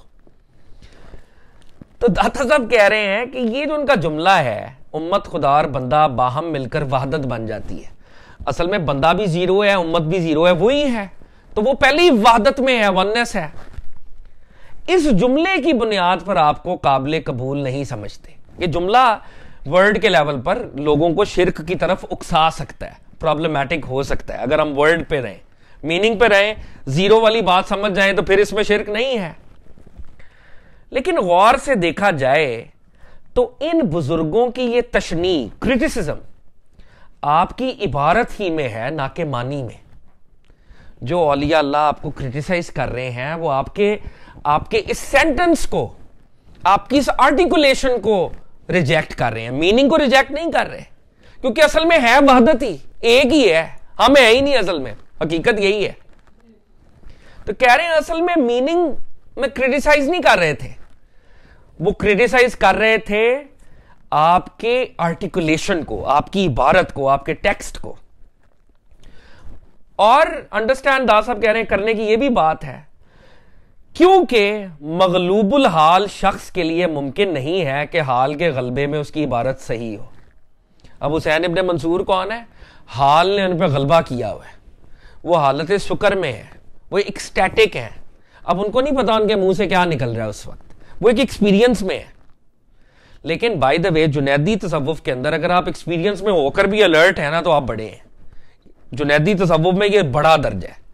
लेकिन हुसैन इबन मंसूर के यहाँ या कुछ वाली अल्लाह के यहाँ जब आप एक्सपीरियंस में हैं तो आप अलर्ट कैसे रह सकते हैं?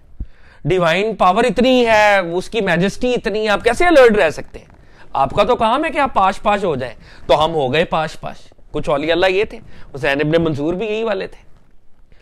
तो दास साहब कह रहे हैं कि, अरबाब हकीकत आपके इस जुमले को कि उम्मत खुदा और बंदा एक वादत बन जाते हैं, इसलिए काबिल कबूल नहीं समझते, गौर से देखा जाए तो इन औलिया अल्लाह का ये क्रिटिसिज्म आपकी आर्टिकुलेशन पर है मीनिंग पर नहीं, क्योंकि मगलूबुल हाल शख्स के लिए मुमकिन नहीं कि हाल के गलबे में उसकी आर्टिकुलेशन सही हो।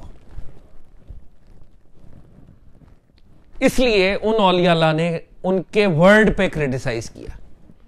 जी वो असल में बात ये है ना कि हम जब हाल को परसीव करते हैं तो हम समझते हैं वो फ्लैश फ्लैशेज हैं। उनके लिए उनकी वो पूरी रूटीन ही हाल बनी हुई थी ना। वो पूरा हा, हा, हा, हाँ it was a continuous state उनके वो फ्लैशेज नहीं थे ना।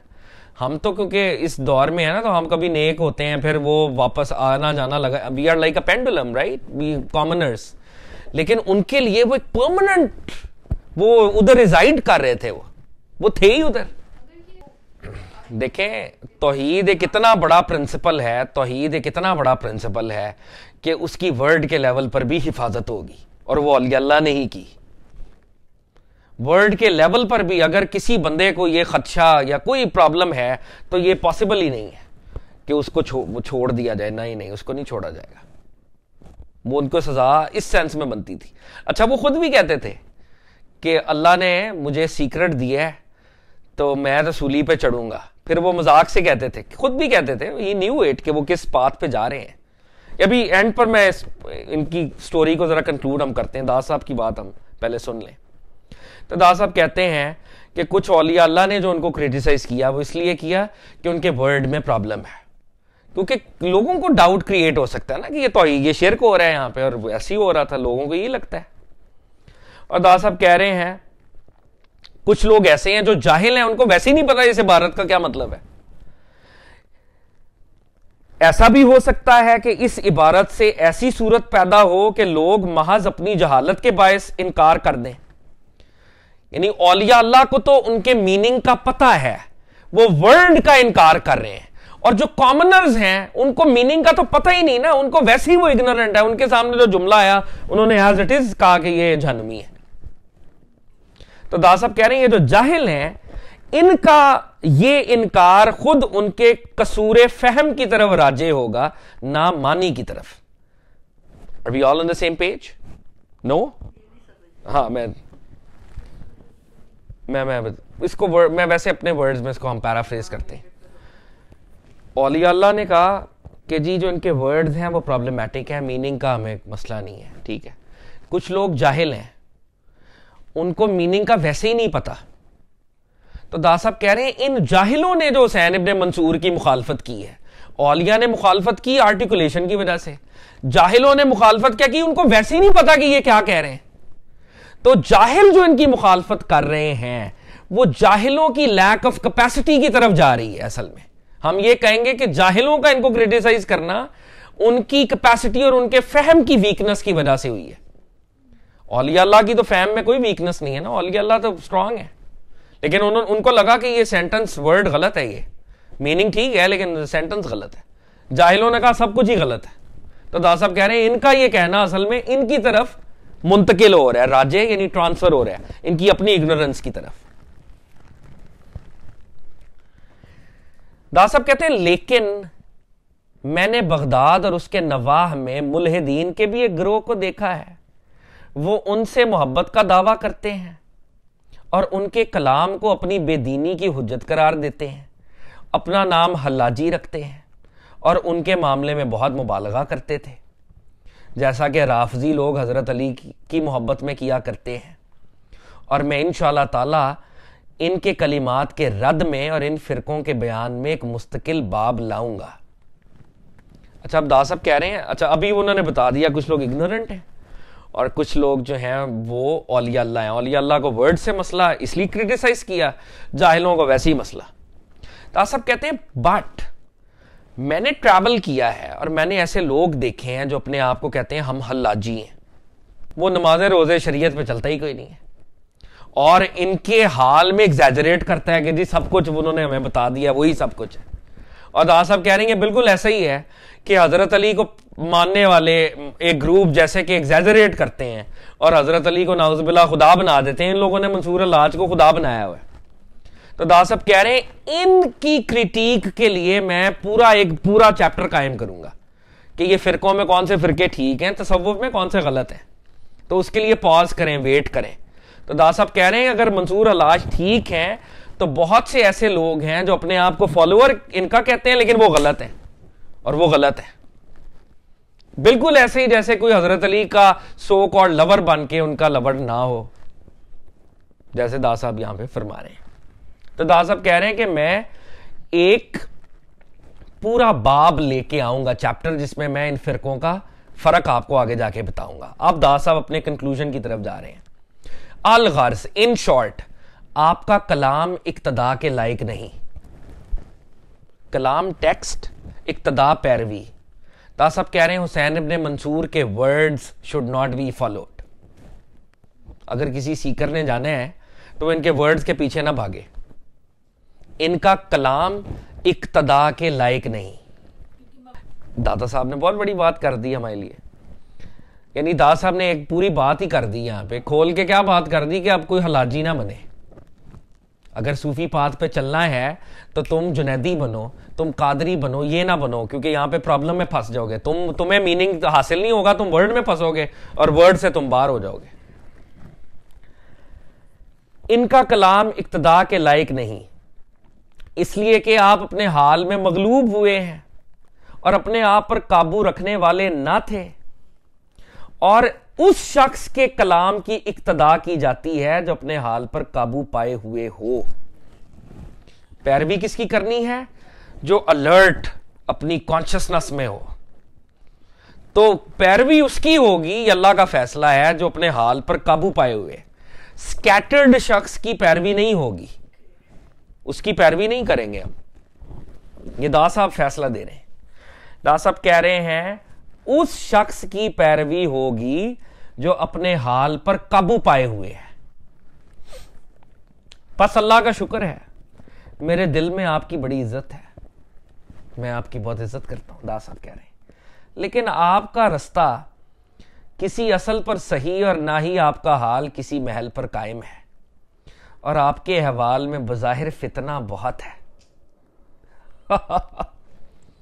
मुझे अपने मुकाशफात की इब्तदा में इनकी नस्बत बहुत सी दलीलें मिली हैं। और इससे पेशतर मैंने उनके कलाम की शरह में एक किताब भी लिखी है, जिसमें दलाइल और बराहीन से आपके कलाम की बुलंदी और उनके हाल की सेहत को साबित किया है। अच्छा अब दाता साहब ने, दाता साहब क्या कर रहे हैं? उनको उनके मीनिंग के लेवल पर उनको प्रेस करते हैं। मीनिंग के लेवल पे। और वर्ड के लेवल पर क्रिटिक भी देते हैं उनको। और ये दाता साहब ने बहुत ही कम जगहों पे ऐसे की है कि किसी वली अल्लाह को बयान करने के बाद क्रिटिक भी की हो। और बड़े अदब से कर रहे हैं दास साहब। क्या कह रहे हैं दास साहब? दास साहब कह रहे हैं कि आपका जो रास्ता है, वो उसकी फाउंडेशन जो है ना, वो वीक है। यानी आम आदमी उस फाउंडेशन उस रास्ते पर ना चले, गिर जाएगा। या वो रास्ता गिर जाएगा, या वो बंदा गिर जाएगा, या वही होगा जो उसके साथ हुआ। आपके अहवाल में बजाहिर फितना बहुत है। ठीक है? फितना है कि इक्विलिब्रियम नहीं है उसमें। मुझे अपने मुकाशफात की इब्तदा में दा सब कह रहे हैं, जब मेरे पर वो मुशाहिदे हुए ना आई वॉज़ अ बिगनर तो मुझे उनके हवाले से बहुत से आर्गुमेंट्स मिले। मुझे समझ आ गई कि उनके साथ क्या हो रहा था। मेरे साथ भी हुआ वो सब कुछ। और फिर दास साहब कह रहे हैं, इसीलिए मैंने उनके कलाम को इंटरप्रेट भी किया कमेंट्री लिखी मैंने उनके कलाम के ऊपर। और मैंने उनको हेल्प किया। किस चीज़ में हेल्प किया कि उनके टेक्स्ट को मैं डिफेंड करूँ? तो दास साहब कह रहे हैं as a beginner I also went through this but I would advise everyone के इस रास्ते पर मत चले। और वैसे बाय द वे मैंने डिफेंड किए हैं उनको। मतलब मुझे समझ आ गई है कि वो कहना क्या चाह रहे थे। I been through this but I will advise you not to tread this path this path is not for you और यहाँ पर सूली पे चढ़ने के लिए फिर आप तैयार नहीं तो दास साहब कह रहे हैं, इसके अलावा मैंने अपनी दूसरी किताब मिनहाजुद्दीन में, जिसका मैंने पहले ज़िक्र किया है उनके अहवाल की इब्तदा और इंतहा को बयान किया है और यहाँ पर भी इख्तसार के तौर पर कुछ बयान कर दिया है। तो दासब की एक और किताब थी जो कि अब नहीं है, अब सिर्फ़ कशफुल माजूब ही अवेलेबल है। तो कह रहे हैं कि मैंने मुख्तसर यहाँ पर भी बयान कर दिया, दूसरी किताब में मैंने बड़ी डिटेल्ड कॉन्वर्जेशन की थी। तासाब अब एक अपना फाइनल कंक्लूजन दे रहे हैं। बस वो रास्ता जिसके असल को इतने एतराज़ात के साथ या एतराज़ात से परहेज के साथ साबित करना पड़े, उससे कैसे ताल्लुक पैदा किया जाए? और कैसे उसकी पैरवी की जाए? क्योंकि ख्वाहिश नफ्स को सच्चाई हरगिज मुआफिक नहीं आती। इस जुमले को हम बाद में देखते हैं, पहले पूरा जुमला उनका देख लें। तो साहब कह रहे हैं, रास्ता तो ठीक हो हो सकता है मीनिंग के लेवल पे ठीक हो। लेकिन मीनिंग के ऊपर इतने रिबटल इतनी रेफ्यूटेशन तो वो रास्ता जिस पे जिसको मानने के लिए हमें पहले रिबटल्स करने पड़े रेफ्यूटेशन करने पड़े तो कैसे हम उसको फॉलो करें? क्योंकि नफ्स के अंदर एक बीमारी है।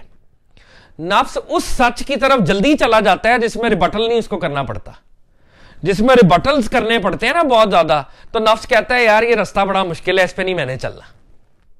यानी एक शख्स जो नफ्स के साथ सच्चाई के रास्ते पे जाना चाह रहा है तो उसके लिए वो रास्ता निस्बतन आसान होगा जिस पे रिबटल्स नहीं होंगे, जिस पे कांटे नहीं होंगे, जिस पे ट्रबल्स और हर्डल्स नहीं होंगी। नफ्स उस रास्ते पर चलते वक्त रुकेगा कि यार ये तो बड़ी ऑलरेडी बड़ा ट्रबल ट्रबल्ड पाथ है ये। तो दास साहब कह रहे हैं, इस तरीक से बचना चाहिए, क्योंकि इस पर बड़े एतराज़ात हैं। और इसको साबित करने के लिए एतराज़ात को रिबट करना पड़ता है। और नफ्स जो है ना, वो ऐसे सच से पनाह माँगता है जिसको जिसमें रिबटल्स में फंसना पड़े। खासतौर पर बिगनर के लिए बात कर रहे हैं ना। ख्वाहिश नफ्स को सच्चाई हरगिज मुआफिक नहीं आती। कि जो नफ्स है ना, उसको ऐसा सच ना भाता नहीं है। पसंद नहीं आता ऐसा सच, जिसमें इतने थॉन्स हो और वो साइड पे करने पड़े और फिर हम रियलिटी तक पहुँचे। इसलिए नफ्स हक से इनहराफ के तरीके की कोई बात तलाश करती, करता रहता है कि उससे लिपट जाए। तो नफ्स क्या करेगा? जब ऐसा पाथ होगा जिसपे इतने थॉन्स होंगे, इतने कांटे होंगे, वो कहेगा, किसी थॉन में जाके घुसू मैं ताकि पाथ में मुझे चलना ना पड़े। नफ्स रोकेगा आपको। तो दास साहब कह रहे हैं, इसलिए मत चलें इस पाथ पे। हालाँकि इस पाथ में अगर थॉन्स पीछे कर दें तो रियलिटी है, मगर वो आपके लिए नहीं है। अच्छा अब दाता साहब का एक पूरा वो जब भी वो किसी वली को बयान करते हैं तो उसकी कोटेशन ज़रूर बयान करते हैं। लेकिन यहाँ पे इन वली ने अनल हक का नारा लगाया हुआ है, इनको अजियतें दे के शहीद किया गया है। तो पहले ज़रूरी था कि उनकी लाइफ के बारे में और उनको एक स्पिरिचुअल लेवल पर डिफेंड भी करें। हमें भी बताएँ कि किस तरह इनके पीछे चलना है, किस तरह इनके पीछे नहीं चलना। अब वो सारी बात कर चुके और दादा साहब आखिर में उनकी एक कोटेशन बयान कर रहे हैं। ताकि उनका जो फॉर्मेट है, वो उस फॉर्मेट पे रहे। आपसे रवायत है, हुसैन इबन मंसूर ने कहा, ज़बानें बोलती हैं, ज़बानें बोलती हैं, लेकिन उनके बोले हुए अल्फाज में बाज हलाक करने वाले, मख्फी और खामोश अल्फाज भी होते हैं। दोबारा सुने। जबानें बोलती हैं तो जबानें जब बोलती हैं तो फिर खामोशी तो नहीं बोलती ना? खामोशी का मतलब है कि वर्ड्स नहीं होते उनमें। खामोशी में वर्ड्स नहीं है साइलेंस है, और बोलने में वर्ड्स हैं। तो जब जबानें बोलती हैं तो हमने सोचा कि वर्ड्स की बात हो रही है। हुसैन इबन मंसूर कह रहे हैं, जबानें बोलती हैं, लेकिन इनके बोले हुए अल्फाज में जब वर्ड्स निकल रहे हैं, बाज हलाक करने वाले हिडन और साइलेंट वर्ड्स भी होते हैं। Which is what happen to him जी ये उन्होंने पहले मतलब कहीं जनरली अपने वो जब टीच वीच कर रहे होंगे कि जबानें बोलती हैं लेकिन उनके साथ जब बोला जा रहा होता है कुछ हिडन अल्फाज भी होते हैं और वो हिडन अल्फाज ही असल में मरवाते हैं। मैं तो बहुत शैलो उसको कर रहा हूँ ना इंटरप्रेट बात तो बहुत डेप्थ पे जाके हो रही है असल में। लेकिन मैं एक शैलो एक उसकी सतही सी कॉमेंट्री हम कर रहे हैं यहाँ पे। कि जबानें बोलती हैं, लेकिन उनके बोले हुए अल्फाज में, यानी जो आर्टिकुलेटेड वर्ड्स हैं, बाज ऐसे वर्ड्स होते हैं जो हलाक करने वाले होते हैं। यानी जगह मरवान वाले वर्ड्स होंगे ने मरवान वाले वर्ड्स जेड़े मखफी हिडन साइलेंट यानी वो टेक्स्ट का पार्ट नहीं होते, लेकिन वो होते हैं साथ वो भी, और वो मरवा देते हैं आपको, हर लेवल पे। तो दासा फरमाते हैं अब दाता साहब, अल्लाह अकबर। दाता साहब की इंटरप्रिटेशन पे मेरा दिल करता है, मैं उनके कदमों को जफी डाल दूँ। दाता साहब कहते हैं, असल में बात पता क्या है? अल्फाज और इबारतें सब बाइस खराबी हैं।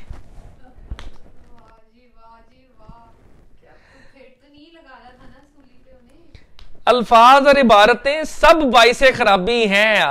उन, ये है बात असल में। अगर वो चुप रह जाते वर्ड्स को एक्सरसाइज ना करते तो वो बच जाते ना। असल में खराबी पैदा ही वर्ड से हुई। कहने वाला कुछ और कह रहा था सुनने वाला कुछ और सुन रहा था। प्रॉब्लम तो वर्ड अगर वो एक्सपीरियंस वर्ड के लेवल पे आता ही ना प्योर एक्सपीरियंस रहता वो तो वो उनके लिए और भी ज़्यादा वो थी। अच्छा जी अल्फाज और इबारतें सारी बायस खराबी रौला ही यहाँ से शुरू होता है। और हकीकत के बयान करने में तो बिल्कुल बेकार है। ओए ओए ओए ओए ओए। ओए होए होए होए। और ये हर लेवल पे ट्रू है आपा। हर लेवल पे। हर लेवल पे। आप कुछ और कहना चाह रहे होते हैं, सुनने वाला कुछ और सुन रहा होता है, लड़ाई हो जाती है इसी चक्कर में। होता ही है, ज़िंदगी में भी।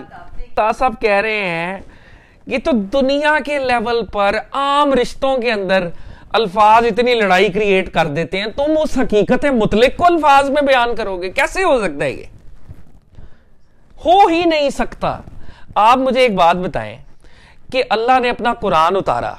कुरान में सब कुछ है, लेकिन कुरान में ऐसे वर्ड्स हैं जिन्हें मुतशाबे हाथ कहते हैं, जिनको पढ़कर हमें कोई मतलब नहीं पता उसका कि वो क्या अल्लाह फरमा रहे मुतशाबे हाथ से आगे हरूफ मुकत्यात हैं। We don't know what is अलिफ लाम मीम इससे कुरान शुरू हो रहा है आपका, सूरह अलहमद के बाद। अल्फाज और इबारतें सब बाइस खराबी हैं। हकीकत के बयान करने में तो बिल्कुल बेकार है। क्योंकि जब मानी हासिल हो जाए, किसी को असल में मीनिंग मिल जाए, किसी को असल में मीनिंग मिल जाए तो फिर वो इबारत की वजह से गुम नहीं हो सकता। यानी अगर किसी को मीनिंग मिला हुआ है तो वो वर्ड में उसको आर्टिकुलेट करे या ना करे मीनिंग गुम नहीं होगा मीनिंग उसके साथ रहेगा। वो उसके दिल में है ना? मीनिंग तो है। और अगर मीनिंग गुम हो जाए तो वर्ड जितने मर्ज़ी उसको देते रहे, वो वापस थोड़ी आएगा। जैसे एक वर्ड है जियारत। जिसको जियारत हुई है, जिसकी भी, वो एक मीनिंगफुल एक्सपीरियंस है। अगर वो एक्सपीरियंस उसके पास है तो जियारत का वर्ड उसको आता है या नहीं आता, उसके पास वो एक्सपीरियंस है। मीनिंग है उसके पास। और आप उस एक्सपीरियंस से हाथ दो बैठे हैं। एक्सपीरियंस खत्म। अब जितना मर्ज़ी जियारत का वर्ड जियारत की मिस्टिकल इंटरप्रिटेशन जियारत की सोशल जितनी मर्ज़ी करते रहे, उस जियारत को अनलॉक करने से वो मीनिंग तो वापस नहीं आएगा। असली चीज़ तो एक्सपीरियंस की है, असली कीमत तो मीनिंग की है। अगर कोई शेर है, असली जंगल के शेर के ऊपर उसकी दुम पे तो नहीं लिखा हुआ बब्बर शेर, वो असल में शेर है। किसी को आप शेर कहते रहे तो वो उससे शेर हो जाता है, नहीं। जिसके पास जिसके पास मीनिंग है मीनिंग मीनिंग वो बस है। वो अगर वाकई हज़रत अली असदुल्ला हैं तो हैं, हज़रत हमजा अगर असद रसूल हैं तो वो हैं। उन्होंने जंगों के अंदर खालिद बिन वलीद, सैफुल्ला हैं तो हैं। इंसान हो के भी अल्लाह की तलवार है, इंसान हो के भी अल्लाह के शेर हैं। वर्ड से ना भी कहें उनको, वो हैं ही वो। तो अल्फाज दाता साहब ने पूरे इसको सम अप कर दिया कि यार खराबी की जड़ अगर हुसैन इब्न मंसूर वर्ड्स को इस्तेमाल में ना लाते तो शायद उनके साथ दुनियावी लेवल पर वो ना होता जो उनके साथ हुआ। अल्फाज और इबारतें बायस खराबी हैं। हकीकत के बयान करने में बिल्कुल बेकार हैं। जब मानी मिल जाए तो इबारत की गुम होने की वजह से मानी गुम नहीं होता। और अगर मानी गुम हो जाए तो इबारत के आ जाने से मानी पैदा नहीं होता। हकीकत यह है कि तालिब, डिजायरस, जो अल्लाह सीकर, अपने जोमे बातिल में, अपनी वो एरोगेंस जिसके पीछे कोई बेस नहीं है, अपने जोमे बातिल में किसी इबारत को गलत मानी पहनाता है। हो क्या रहा है? बिगनर के सामने एक वर्ड आता है, वो वर्ड को गलत मीनिंग दे देता है। और फिर समझता है कि यही हकीकी मानी है। बिगिनर कैसे तबाह होता है? मीनिंग तो होता नहीं बिगिनर के पास, तालिब के पास मीनिंग नहीं है। एक्सपीरियंस नहीं है वर्ड है उसके पास। वो वर्ड को अपना मीनिंग पहना देता है। किसी इबारत को गलत मानी पहनाता है, और फिर क्या समझता है? ये हकीकी मानी है। इसी तरह हलाक हो जाता है। वो अल्लाह ये जो दाता साहब ने दो तीन सफ़े लिखे हैं कॉम्प्रीहेंसिव हर तरह का सर्वे उन्होंने करके रख दिया हुसैन इब्न मंसूर का। और एक मिनी मिस्टिकल सर्वे भी हो गया। तो कहने की बात यह है कि वो जो हाल पे इस्तकामत है, खामोशी है, वो एक ट्रेनिंग के बाद आती है और वो लंबी ट्रेनिंग के बाद आती है। हम इस लेवल पे तो नहीं है कि इनके ऊपर क्रिटिक करें या कमेंट करें। हम हुसैन इब्न मंसूर के लेवल पे नहीं है। लेकिन अपने आप को समझाने के लिए रिलेटिवली स्पीकिंग जब हम जुनैद बगदादी को देखते हैं अबू बकर शिबली, उन लोगों को देखते हैं तो उनके अंदर पेशेंस इनके मुकाबले में बहुत ज़्यादा थी। और उनके मुकाबले में इनमें रेस्टलेसनेस बहुत ज़्यादा थी। वो रेस्टलेसनेस उनको यहाँ तक लेके गई। उनके वर्ड्स निकले, वो सारी चीज़ें उस रेस्टलेसनेस का नतीजा थी। अच्छा मज़े की बात यह है कि जब ये आखिरी बात इस तनाजुर में। हज़रत हुसैन इबन मंसूर अल्लाज का जब इनको उन्होंने, जब सूली पे क्रूसीफाई किया, बड़े ालिमाना तरीके से। इनको आठ, नौ साल की पहले जेल हुई, पहले जेल में रहे, पहले इतनी लंबी जेल हुई। इनके कुछ कुछ औलिया थे जो कोर्ट से वाबस्ता थे, वो कोशिश करके टालते थे इनकी सज़ाओं को। कि इनको सजाए, मौत ना हो। वो उनके कहते थे, नहीं, इसको समझ नहीं है, जाने दें। तो इसलिए इनकी जेल लंबी होती जा रही थी। मौलवी इनके खिलाफ थे। तो फिर वो एक ऐसा खलीफा आया और वो मौलवी उनके साथ मिल गया उन्होंने कहा, जी, अनल हक पे जब तक ये नहीं होगा। तो writ of the state establish करने के लिए वो जेल से इनकी, वही वाली गेम हुई और इनको कहा, जी, फलाने दिन हम सूली पे लटका देंगे, और ये और वो। तो जब सूली पे इनको लटकाया गया तो पहले वो इनका बाजू एक काटा गया। तो वो कहते हैं कि जी, जब बाजू काटा तो उन्होंने कुछ मिस्टिकल जुमले कहे वहाँ पे ना। मतलब उसको अगर मैं बहुत पैराफ्रेज करूँ, वैसे वो लंबे जुमले हैं, लेकिन वो अगर इन शॉर्ट उन्होंने कहा, मेरा जाहरी बाजू तुमने काट दिया, मेरा बातनी बाजू कौन काटेगा? वो तो उधर ही है। फिर उनका अच्छा वो बिल्कुल ही वॉज़ वेरी काम कलेक्टेड अच्छा उनके फिर वो ये वाला बाजू इस तरह, उन्होंने कहा, कौन काटेगा? तुमने ये तो काट दिया, बातनी कौन काटेगा? फिर उनकी टांगे और बाजू और टांगे और हाथ यानी पाँव काटे उन्होंने। तो उन्होंने कहा कि जी इनसे मैं चलता था लेकिन अब ये है कि जो वो डिवाइन की तरह मेरा सफ़र है वो तो हो रहा है वो कौन रोकेगा? तुमने अगर ये पाँव काट दिए तो क्या मुझे तो कोई मसला नहीं हो रहा? ही वॉज़ काम फिर उन्होंने क्या किया जो उनके स्टम्प्स थे जो उनकी वो आ, हाथ बुरीदा कोनिया थी वो उन्होंने यूँ मलना शुरू की। और वो कहते हैं कि उन्होंने रेड कर लिया अपने फेस को। तो लोगों ने कहा ये तुम क्या कर रहे हो? उसने कहा, लोग ये समझ रहे हैं कि मैं मौत से घबरा रहा हूँ। मेरा चेहरा पेल हो रहा है। लेकिन मैं अपने ही खून को लगा के दुनिया को बता रहा हूँ कि मेरी चीक्स रेड हैं अभी। और मैं आशिक हूँ अल्लाह का, और जो आशिक होता है अल्लाह का, वो अपने ही लहू से वज़ू करता है। ये लेजेंड्स हैं, इस तरह की मशहूर हैं। फिर वो कहते हैं कि जी, उनकी आँखें निकलवाई गई। अच्छा ये जब सारा मामला हुआ तो वो फिर भी अल्लाह की हमदी कर रहे थे। फिर उनकी जबान उन्होंने निकाली। उन्होंने कहा, एक मिनट, ठहरो। फिर उन्होंने उस टाइम पे अल्लाह को कहा कि अल्लाह, ये मुझे गलत समझ के कर रहे हैं, मैं इनको माफ़ करता हूँ, और ये भी तेरे ही बंदे हैं। और मैं भी तेरा ही बंदा हूँ तो मैं भी तेरी हमद करता हूँ, ये भी करते हैं, वो भी कट गई। अब ही वॉज़ लाइव उनको अगले दिन उन्होंने फिर शहीद किया तो वो एक रात वो इबादत उस तरह रही। अच्छा वो जब इवन इन दैट हालत he was smiling he was not afraid of anything he was okay he was fine अगले दिन को शहीद किया। अच्छा फिर अगले दिन उनकी बॉडी को लटकाए रखा। तीसरे दिन उनकी बॉडी को उन्होंने कहा कि अगर इस बॉडी को हमने दफन कर दिया, ये कोई कुछ इस किस्म का मामला कर दिया तो वो तो इनकी वो एक टूम बन जाएगी और वो मामला हो जाएगा बड़ा। तो उन्होंने कहा जी, इनकी बॉडी को जला दो। ये ऐसा काफिर और ज़िंदगी है कि इसको जला के मारो। अच्छा वो जो उनकी अच्छा एक और चीज़ ये लेजेंड्स भी हैं मिथ्स और ये सारी मिक्स नहीं है मतलब कोई हिस्ट्री और फिक्शन सारी मैं आपको बता रहा हूँ जो एग्जिस्ट करता है लिटरेचर में।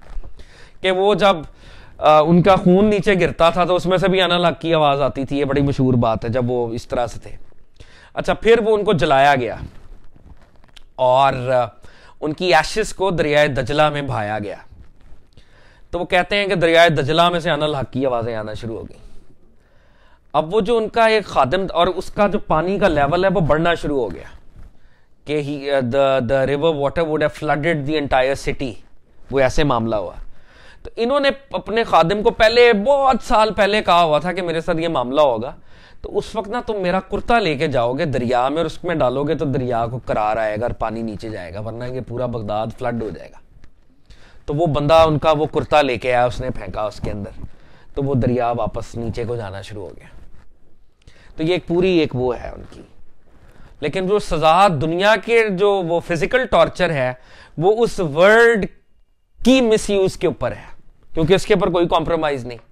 तोहीद बहुत बड़ी चीज़ है। नंबर टू दाता साहब इस किताब में लिखते हैं कि अल्लाह से अगर कोई शख्स मोहब्बत कर ले, जो दुनिया की मोहब्बत है, उसमें दो होते हैं एंड पे डुअलिटी रहती है। अल्लाह से अगर कोई मोहब्बत कर ले तो अल्लाह की मोहब्बत की मिराज ये है कि एंड पर वनस रह जाती है। और कुछ अल्लाह के ऐसे बंदे होते हैं, जिनको फ़िज़िकल लेवल पर भी अल्लाह अनाइलेट करवाता है। उनकी फना होती है फ़िज़िकल लेवल पे भी। वैसे तो हर वली ही क्या, की नफ्स की फना हुई होती है, वो फना ही होता है। लेकिन वो फ़िज़िकल फना भी होती है, और ये बहुत, ये भी कुछ बड़े लोग होते हैं। जैसे आलम इस्लाम में माम हुसैन, और आलम तसवुफ में हुसैन इबन मंसूर सेम ये नाम भी शेयर करते हैं दोनों। They both are martyrs in their respective field but Hussain इबन मंसूर जब उनकी शहादत हुई, कुछ ट्रेडिशंस में ये भी आता है कि प्रॉफिट खाब में आए हैं लोगों के। और उन्होंने कहा कि जी, मैं अपने दोस्त के जनाजे पे आया हूँ। तो तब लोगों ने कहा, तब जो ये लोग थे, वो पलटे। मतलब जो मेजॉरिटी उनके खिलाफ थी, वो वहाँ से, वो जिनको ख्वाब में आए। तो ऐसी भी रिवायात हैं नरेशन है। तो बहरहाल, ये इनका वो तो उस वक्त के कैलिफ जो था, वो अब्बासी जो भी कैलिफ था, ये तो उसने किया ना। मतलब वो मौलवीज के इन्फ्लुएंस था ना, सूफियों के इन्फ्लुएंस में तो ये नहीं था। अच्छा उनको हुसैन इब्ने मंसूर ख्वाब में आए लोगों के अगले ही दिन। तो लोगों ने पूछा, आपके साथ क्या मामला हुआ अल्लाह ने? वो ही वॉज़ वेरी हैप्पी तो उन्होंने कहा, मैं तो ठीक हूँ, बिल्कुल। तो उन्होंने कहा, वो जिन्होंने आपको कत्ल किया, उसके साथ आप क्या करेंगे? उसने कहा, उनके साथ भी अल्लाह कुछ नहीं करेगा। उन्होंने मुझे गलत समझ के मारा था, अल्लाह ने उनको भी बख्श देगा जैसे अल्लाह ने मुझे बख्श दिए मैं भी ठीक हूँ, वो भी ठीक होंगे। ख्वाब में उन्होंने ये कहा बस नॉन शलांड या क्या कहेंगे इनडिफरेंट हाँ ठीक है। इट हैड टू हैपन हो गया। फिर वो कहते हैं कि जी, शैतान आया इनके पास जब ये सूली पे थे। ये सारी मतलब ये वी आर नॉट श्योर कि इनके अंदर डिग्री ऑफ़ क्रेडिबिलिटी कितने, बहरहाल ये है मतलब ये स्टोरीज और लेजेंड्स कह लें। कुछ एलिमेंट ऑफ़ ट्रूथ भी होगा इनमें, ऐसी बात नहीं है, लेकिन बहरहाल है ये सब कुछ। मतलब ये बात तो पक्की है कि हुसैन इब्न मंजूर ने अनल हकार वो सारी बातें। आगे जो इस तरह की बहुत सी और उसके अंदर वो है नॉट श्योर लेकिन बहरहाल। वो कहते हैं, शैतान आया आखिरी वक्त। उसने कहा, मैंने भी तो यही कहा था, मैं आए, तुमने भी ये कहा है। अनल हक है ना, मैं हक हूँ। मैंने भी मैं कहा, तुमने भी मैं कहा, मुझे अल्लाह ने रद्द कर दिया, तुम्हें अल्लाह ने सेंट बना दिया, ये क्या बात है? तो सैन इब्न मंजूर ने सूली पर उनसे डायलॉग किया शैतान साहब से। उन्होंने कहा कि जब तुमने कहा मैं तो तुमने अपने आप को देखना शुरू किया। मतलब तुम अपनी इंटरनल एरोगेंस में चले गए ना कि मैं आग का बना हुआ हूँ, मैं सुपीरियर हूँ। मैं जब मैं कह रहा हूँ तो मैं तो कह ही नहीं रहा मैं। वो कह रहा है मेरे थ्रू मैं। फिर एक और वली अल्लाह थे। उन्होंने कहा, देखो, बात यह है, इस इस बात को समझो। हुसैन इब्ने मंसूर अनल हक नहीं कहता था। उसके थ्रू गॉड का कलाम था। तुम लोग इतने सिंपल हो कि कुरान शरीफ पढ़ते हो और दरख्त में से आवाज़ आती है आई एम योर लॉर्ड तो हज़रत मूसा जाते हैं और ये इस पे सबका ईमान है। तो अगर दरख्त में से दरख्त एक मीडियम हो सकता है तो एक इंसान जो अल्लाह का प्यारा है, वो मीडियम नहीं हो सकता। तुम्हें समझ ही नहीं आई गेम क्या हुई है। एक ये भी टेक है इसके ऊपर। ये भी एक टेक है कि ये, वो तो एक बेचारा अपने से कह ही नहीं रहा था। शरीयत के दर्जे पर, देखें, बात सुने। एक है सूफी सूफी, जो भी सूफी सर्कल हमारा एक है, डिबेट का। सूफी सर्कल में मीनिंग्स की बात हो रही है। लेकिन उस मीनिंग का एक एक्सटीरियर है, और वो अल्लाह की शरीयत है। उस एक्सटीरियर को प्रोटेक्ट करना भी बड़ा ही इंपॉर्टेंट है। अल्लाह को मीनिंग वही कबूल है जो उस एक्सटीरियर के साथ हो। मेजॉरिटी के लिए यही रूल है। उसी के लिए अल्लाह के नबी आए हैं।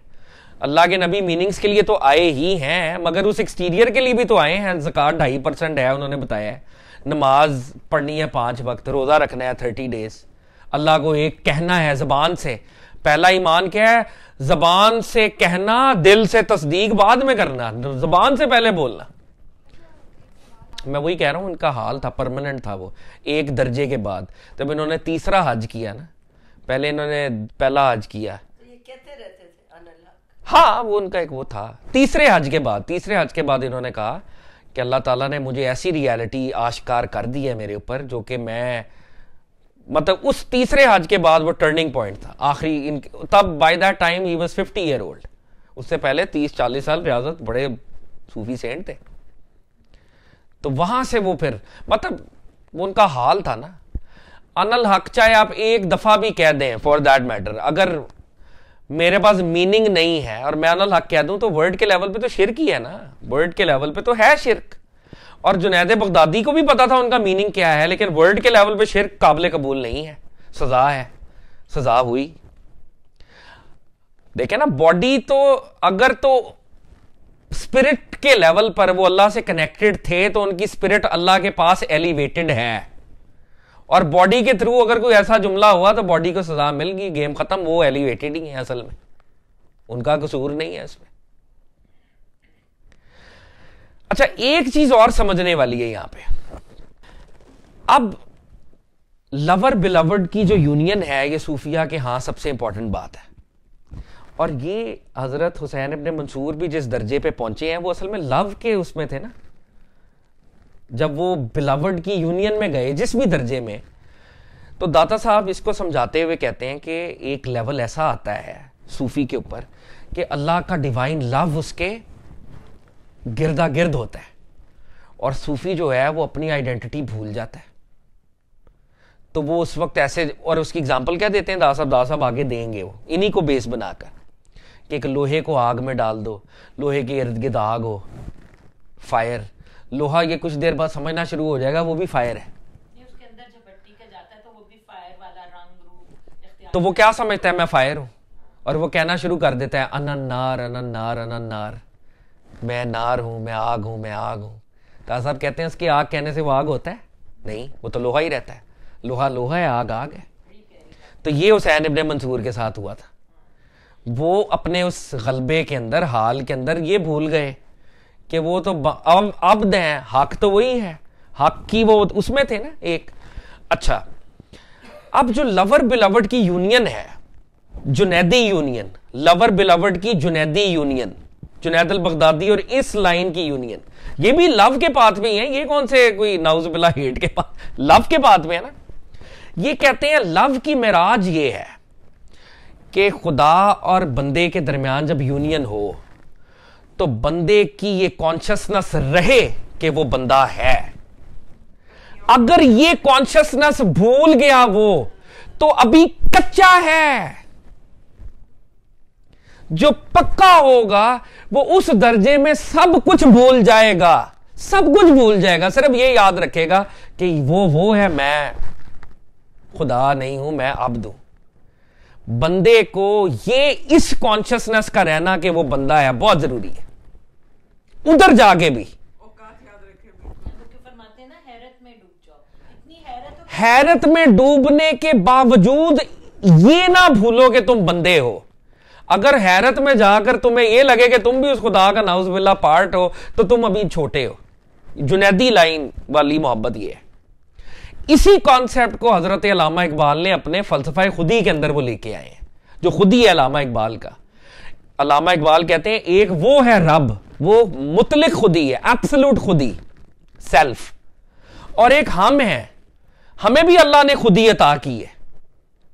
ठीक है, हम एक मैनिफेस्टेड खुदी है। वो एब्सोलूट खुदी है हकीकत में हमारी कोई हकीकत नहीं थी। मगर अल्लाह ने जब कुन कहा, कुन तो अल्लाह ने हमें एक सनत दी। असल में हम ज़ीरो हैं। असल में हम ज़ीरो हैं। मगर हमारी सनत असली है। अल्लाह ने कहा था ना, कुन, उस सनत की वजह से हम भी अपना वजूद रखते हैं। हम भी अपनी खुदी रखते हैं। असल में हम ज़ीरो थे। लेकिन उस कुन कहने की वजह से हम अब ज़ीरो नहीं है। अब हम वजूद रखते हैं। अल्लाह की वजह से। असली खुदी अल्लाह की है और हमारी छोटी खुदी है। अब जब एक साहिब खुदी रब ताला के साथ मोहब्बत करता है, इश्क के पाथ पे जाता है और वो आमना सामना मैं लफ्जों में कह रहा हूँ, जो भी वो एक्सपीरियंस है, वो आमना सामना होगा। तो इस बंदे का ये काम है कि वो अपनी खुदी को कायम रखे। अल्लाह के सामने भी बेखुद ना हो। अगर वो अल्लाह के सामने बेखुद हो गया तो वो कच्चा है। बेखुद होने का मतलब है वो ये भूल जाएगा कि वो अब्द है अल्लाह का। जब वो साहिब खुद ही रहेगा, खुदा के सामने भी तो वो असल में अपने अब्द होने का ऐलान करता रहेगा कि मैं तेरा बंदा हूँ, मैं तेरा बंदा हूँ, और ये बहुत ज़रूरी है। तो अलामा भी कादरी सिलसिले में बैठ थे, अलामा भी इसी लाइन को ही डेवलप करते हैं। लेकिन हुसैन इबन मंसूर की इस लाइन को, जो हुसैन इबन मंसूर की है, अब इसमें क्या होगा कि अल्लाह और बंदे की जब यूनियन होगी किसी भी दर्जे में तो अल्लाह और बंदे में गैरियत रहेगी। हम गैर अल्लाह हैं और वो बरकरार रहेगा। गैरियत। लेकिन हुसैन इबन मंसूर और दीगर लाइन में अगर हम अल्लाह के इश्क में चले जाएँगे तो वो गैरियत का खात्मा हो जाएगा। जो जुनैद बगदादी हज़रत अब्दुल कादिर जिलानी, दाता साहब और अब अलामा इकबाल के यहाँ प्रॉब्लमेटिक हो जाएगी। यानी एक बंदा ये कहे कि मैं मोहब्बत में गुम हो गया हूँ। मैं अपना आप ही फरामोश कर, मैं गायब हो गया हूँ। मैं अल्लाह में नाउजविला जम हो गया हूँ। मैं एक वो जर्रा था, मैं उस जर्रा वापस समंदर में चला गया। एक्सपीरियंस क्या है? कि अल्लाह की मोहब्बत घेरे में है। बंदे को हावी हुई है। डिवाइन यूनियन मतलब वो जो एक कैफियत है क्लोजनेस और प्रॉक्सिमिटी वो जो भी है, हम तो देखें वर्ड्स पे बात करें ना। दाता साहब तो ये कह रहे हैं कि वर्ड के लेवल पे वो जो कह रहे हैं, वो उसका मीनिंग है ही नहीं जो उन्होंने एक्सपीरियंस किया है ना। दाता साहब के हाँ वो एक्सपीरियंस एक्सप्लेनेबल होते ही नहीं है। जुनेद बगदादी और इन सब अल्लाह की एक टेक है कि पक्का आदमी वो है कि अगर उस पर एक्सपीरियंस हो तो वो उसको अल्लाह के फजल से बेहतर तौर पे आर्टिकुलेट कर सके, अगर वो करना चाहे तो। एक बंदे के पास मीनिंग है आर्टिकुलेशन नहीं है तो जुनैद बगदादी कहेंगे, ये हल्का है, ये फारिग है। लेकिन वो आर्टिकुलेट करेगा अपने लिए, आगे किसी को कम्युनिकेट करे या ना करे, उसकी मर्ज़ी है। एक्सपीरियंसेस वो आर्टिकुलेशन की बात कर रही है ना। कुछ किए भी, जैसे देखें बायजीद बस्तामी है। वो एक और नौयत का एक्सपीरियंस था।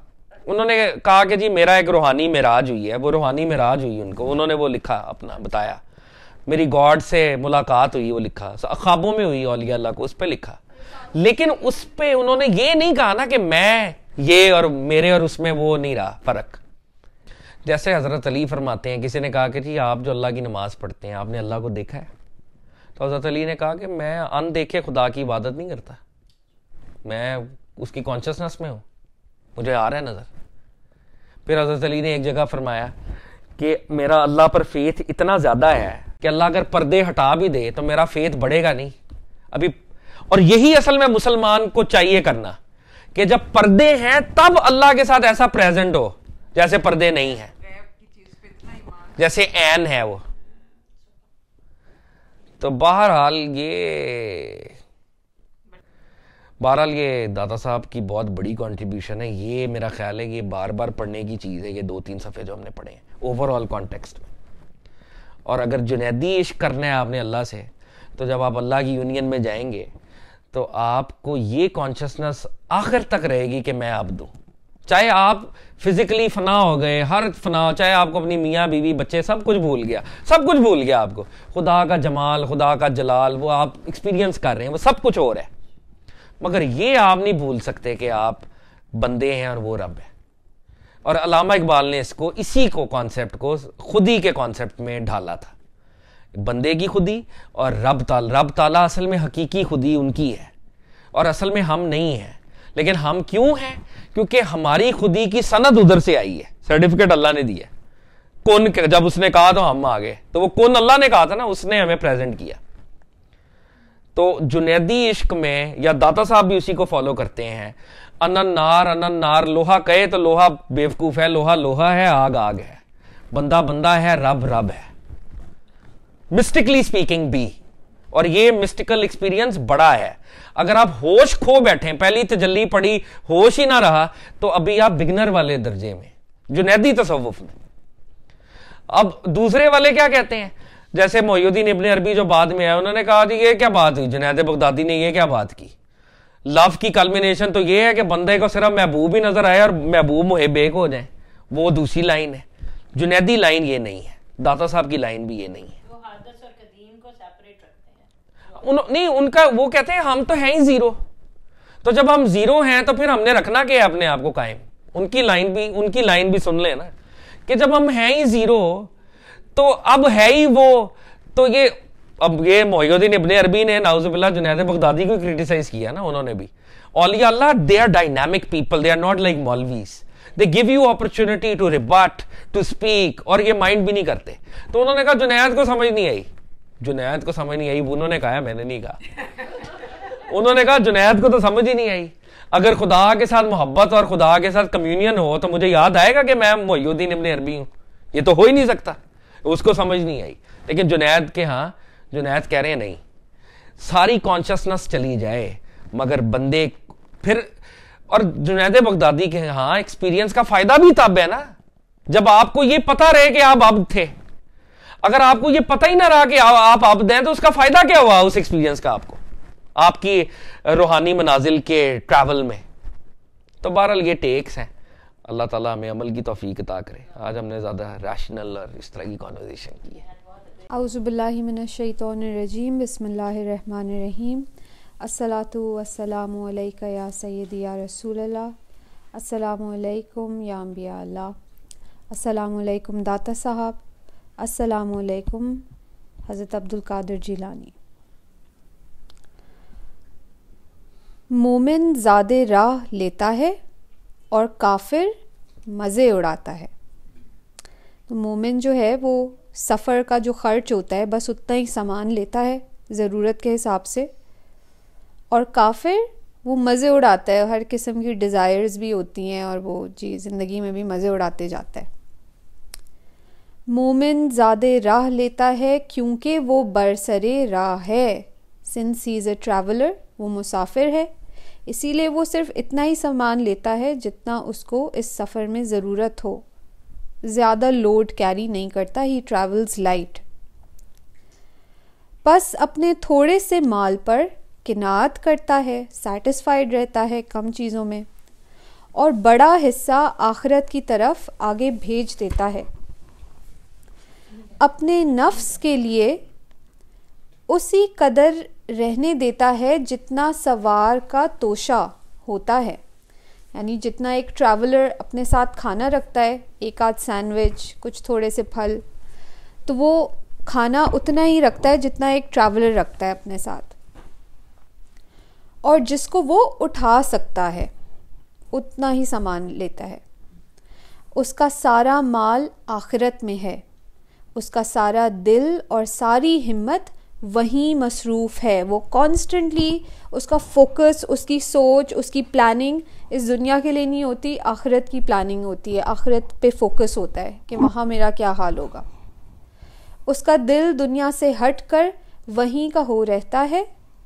वो अपनी सारी तातों, यानी इबादत फरमा बरदारी कोशिश को आखिरत ही की तरफ़ चलता कर देता है। His concern is for the next world not for this ना कि दुनिया के लिए और अहले दुनिया की तरफ़।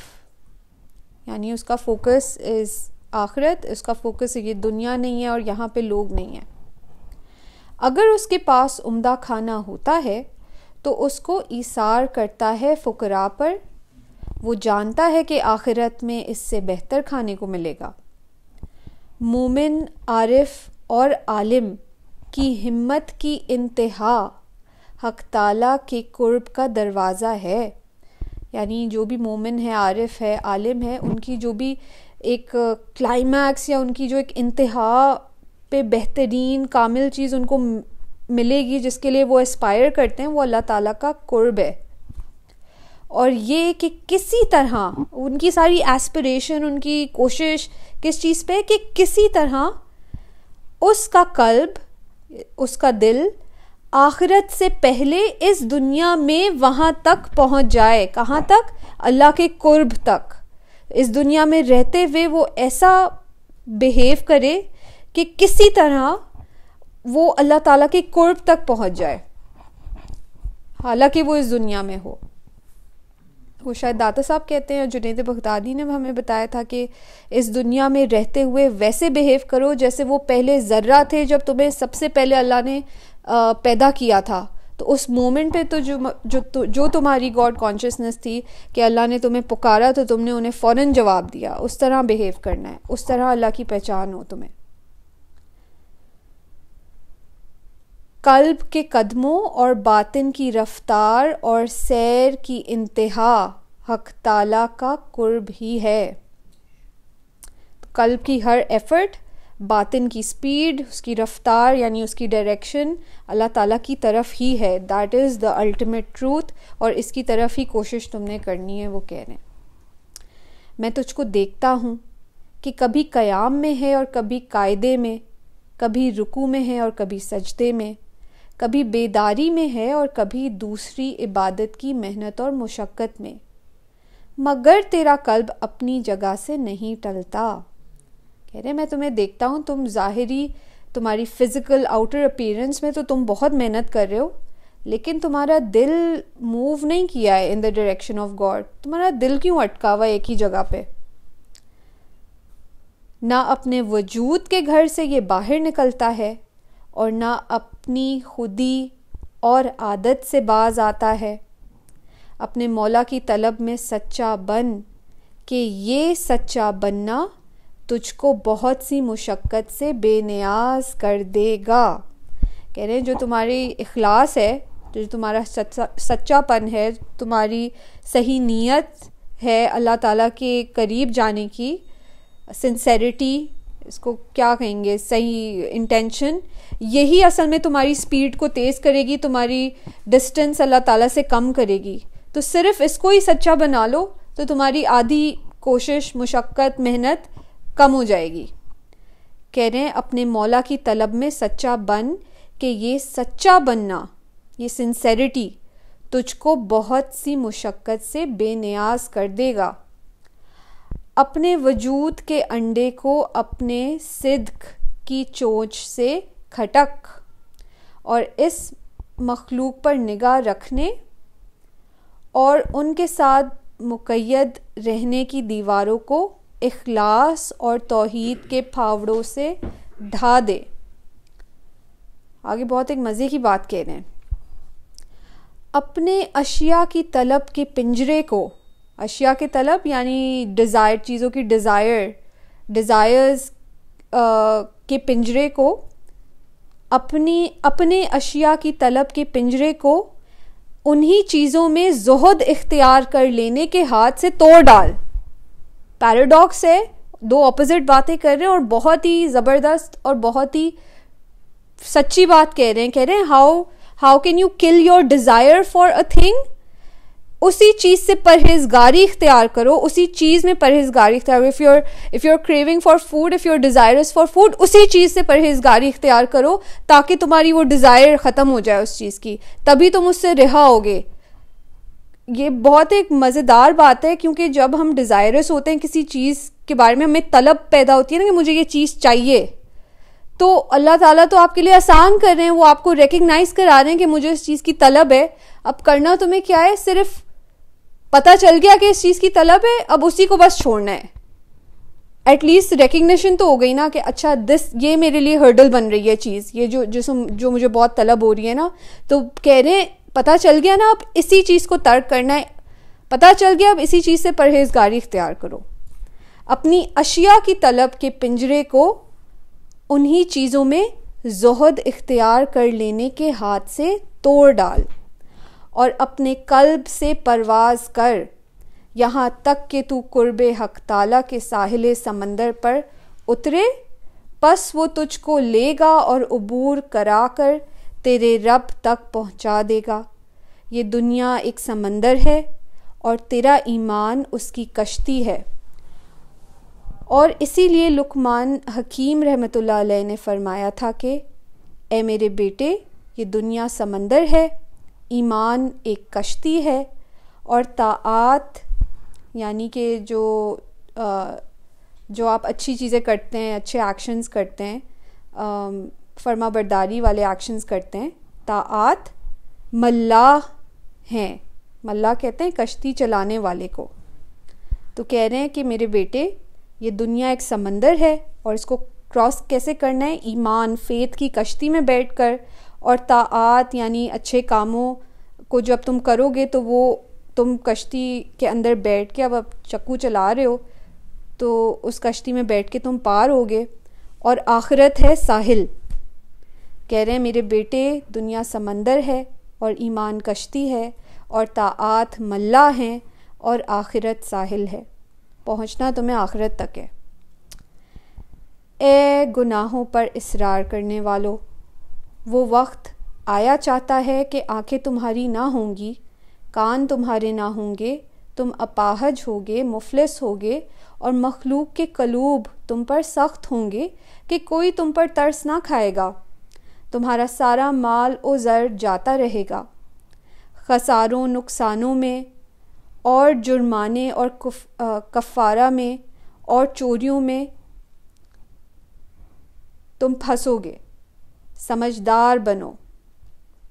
तोबा करो अपने रब के हुजूर में, अपने अमवाल को शरीक खुदा मत ठहराओ कि इन पर भरोसा कर बैठो। उनके साथ ठहरो भी मत। इन चीज़ों के साथ ठहरो भी मत। उनको निकाल दो अपने दिलों से और उनको रख दो अपने घरों और जेबों में और अपने ग़ुलामों और मुलाजिमों के पास और मुंतज़र रहो मौत के। Be prepared and ready for death it can come to you at any moment तो कोई चीज़ जमा ना करो अपने दिल में। अपनी हिर्स को कम करो और आरजुओं को ख़त्म करो।